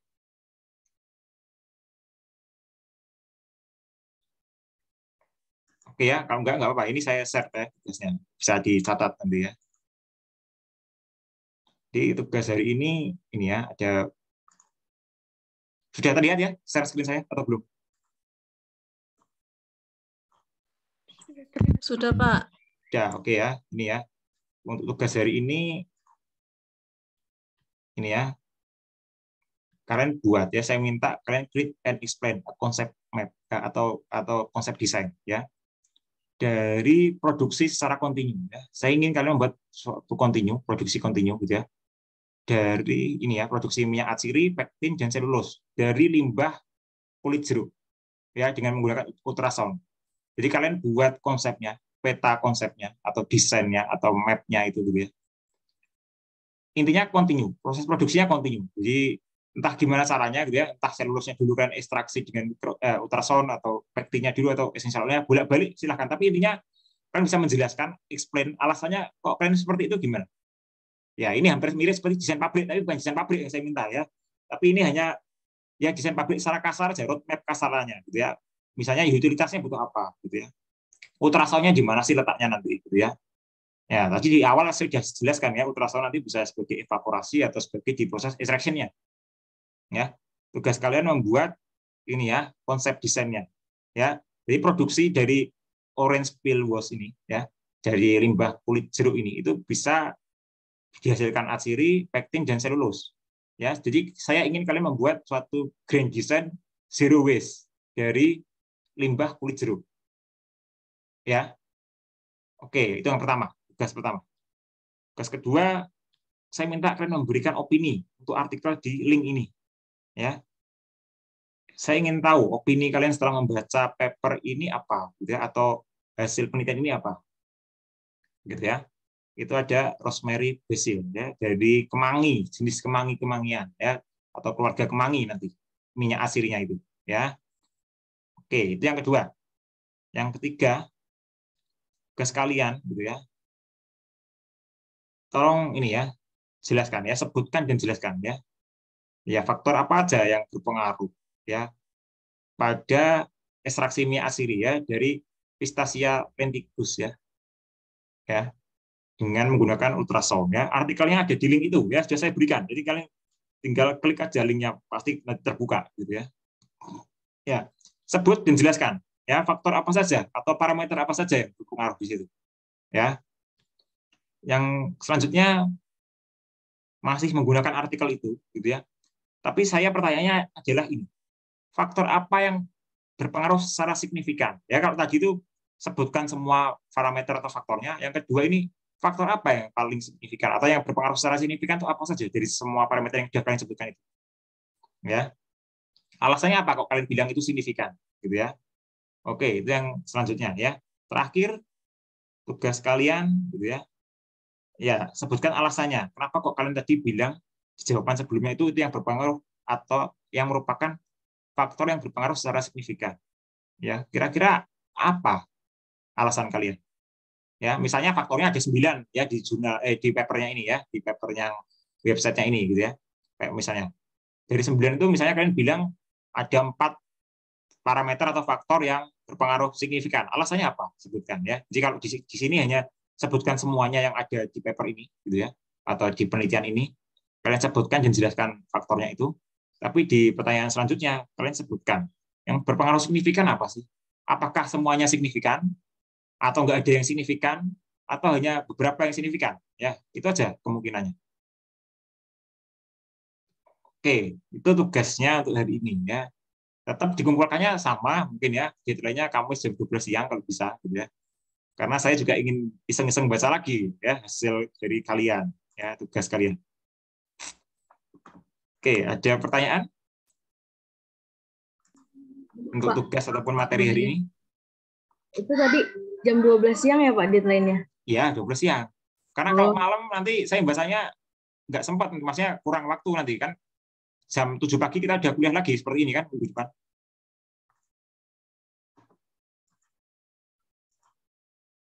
Ya siang ya jam cepat ya kalian bisa lah ya. Tugasnya kan hanya membaca ya. Ya sama membuat uh, konsep ya. Konsepnya gimana sih gitu ya? Nah ini kalian biar bisa belajar ini ya membuat suatu penyulingan tapi yang istilahnya zero waste gitu ya Oke, ada yang mau ditanyakan lagi untuk tugas ataupun materi hari ini? Silakan. Sebenarnya waktunya Izin. lebih kelihatannya ya. Ya, Pak. Izin bertanya. Ya, silakan mau gini. Untuk yang nomor satu tadi itu berarti kita seperti membuat blok diagram blok diagramnya gitu ya, Pak? Iya, seperti itu ya, seperti blok diagram gitu. Ya, terus nanti kan mungkin ada ya enggak kalau kalau kalau pabrik kan ada desain alat gitu ya, desain alat dan lain ya. Nanti ini nggak perlu desain alat ya, ini mungkin hanya blok diagram gitu. Ini misalnya ya misalnya butuh conveyor belt atau apa, udah conveyor beltnya untuk apa misalnya. Terus ininya masuknya gimana atau perbandingannya, ya udah berikan gitu aja ya. Semacam ya boleh blok diagram, boleh flowchart atau atau yang lain. Intinya intinya apa ya? Desain kalian itu benar-benar terlihat, konsepnya itu kelihatan. Jadi kalau kita baca kalau kita baca apa atau saya lihat atau koreksi punya kalian gitu ya, saya tahu jalan pikiran kalian ya. Oh, yang dimaksudkan itu seperti ini gitu ya. Jadi ya fleksibel aja lah ya, nggak, nggak harus blok diagram ya, tapi bisa flowchart silahkan ya. Yang penting mudah untuk kalian ya. Iya Pak, terima kasih. Hmm. Oke, ada lagi silakan yang mau ditanyakan. Ya, nanti materi sama ininya seperti biasa. Mungkin saya titipkan ke Bu Nove ya. Mungkin untuk di-share di apa LMS ya mungkin ya. Iya, Pak. Ya, nanti saya share ya. Oke, ada yang mau tanyakan lagi? Silakan ya. Ya, berarti untuk yang penelitiannya sama Bu Nove dan temanya ultrasound ini kan jelas ya. Parameter apa yang kelihatannya perlu dipelajari gitu ya. Nah. Iya, ini mau masih masih mau pralab Pak. Ya, pralab dulu ya. Kalian uji dulu ya. Iya. Jadi sebelum kalian masuk atau buat proposal atau bahkan penelitian yang real ya, yang benar, ya, ya kalian nyoba satu dua kali dulu lah ya untuk nyoba benar nggak sih keluar nggak sih minyaknya atau gimana gitu ya alatnya jalan nggak gitu ya ya cek semua ya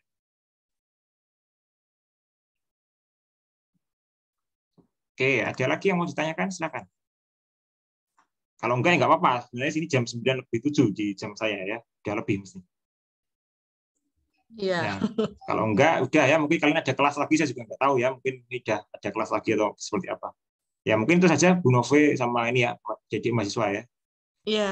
Terima kasih Pak Heri. Ya untuk minggu depan kita mungkin pertemuan terakhir dengan saya kali ya. ya nanti di pertemuan terakhir saya ingin coba ini ya memberikan ya bukan ekstraksi ya agak menyimpang dikit sebenarnya ya tapi mungkin ini juga penting untuk riset kalian ke depan gitu ya. Jadi minggu depan kita mungkin ketemu dengan saya terakhir gitu ya. Ya mungkin nanti agak aplikatif dikit lah atau materi kuliahnya ya. Oke, itu saja dari saya Bu Nove ya. Mungkin saya ya. ini bisa akhiri ya pertemuan ini. Oke, terima kasih Pak. Ya, saya akhiri. Selamat pagi. Assalamualaikum warahmatullahi wabarakatuh.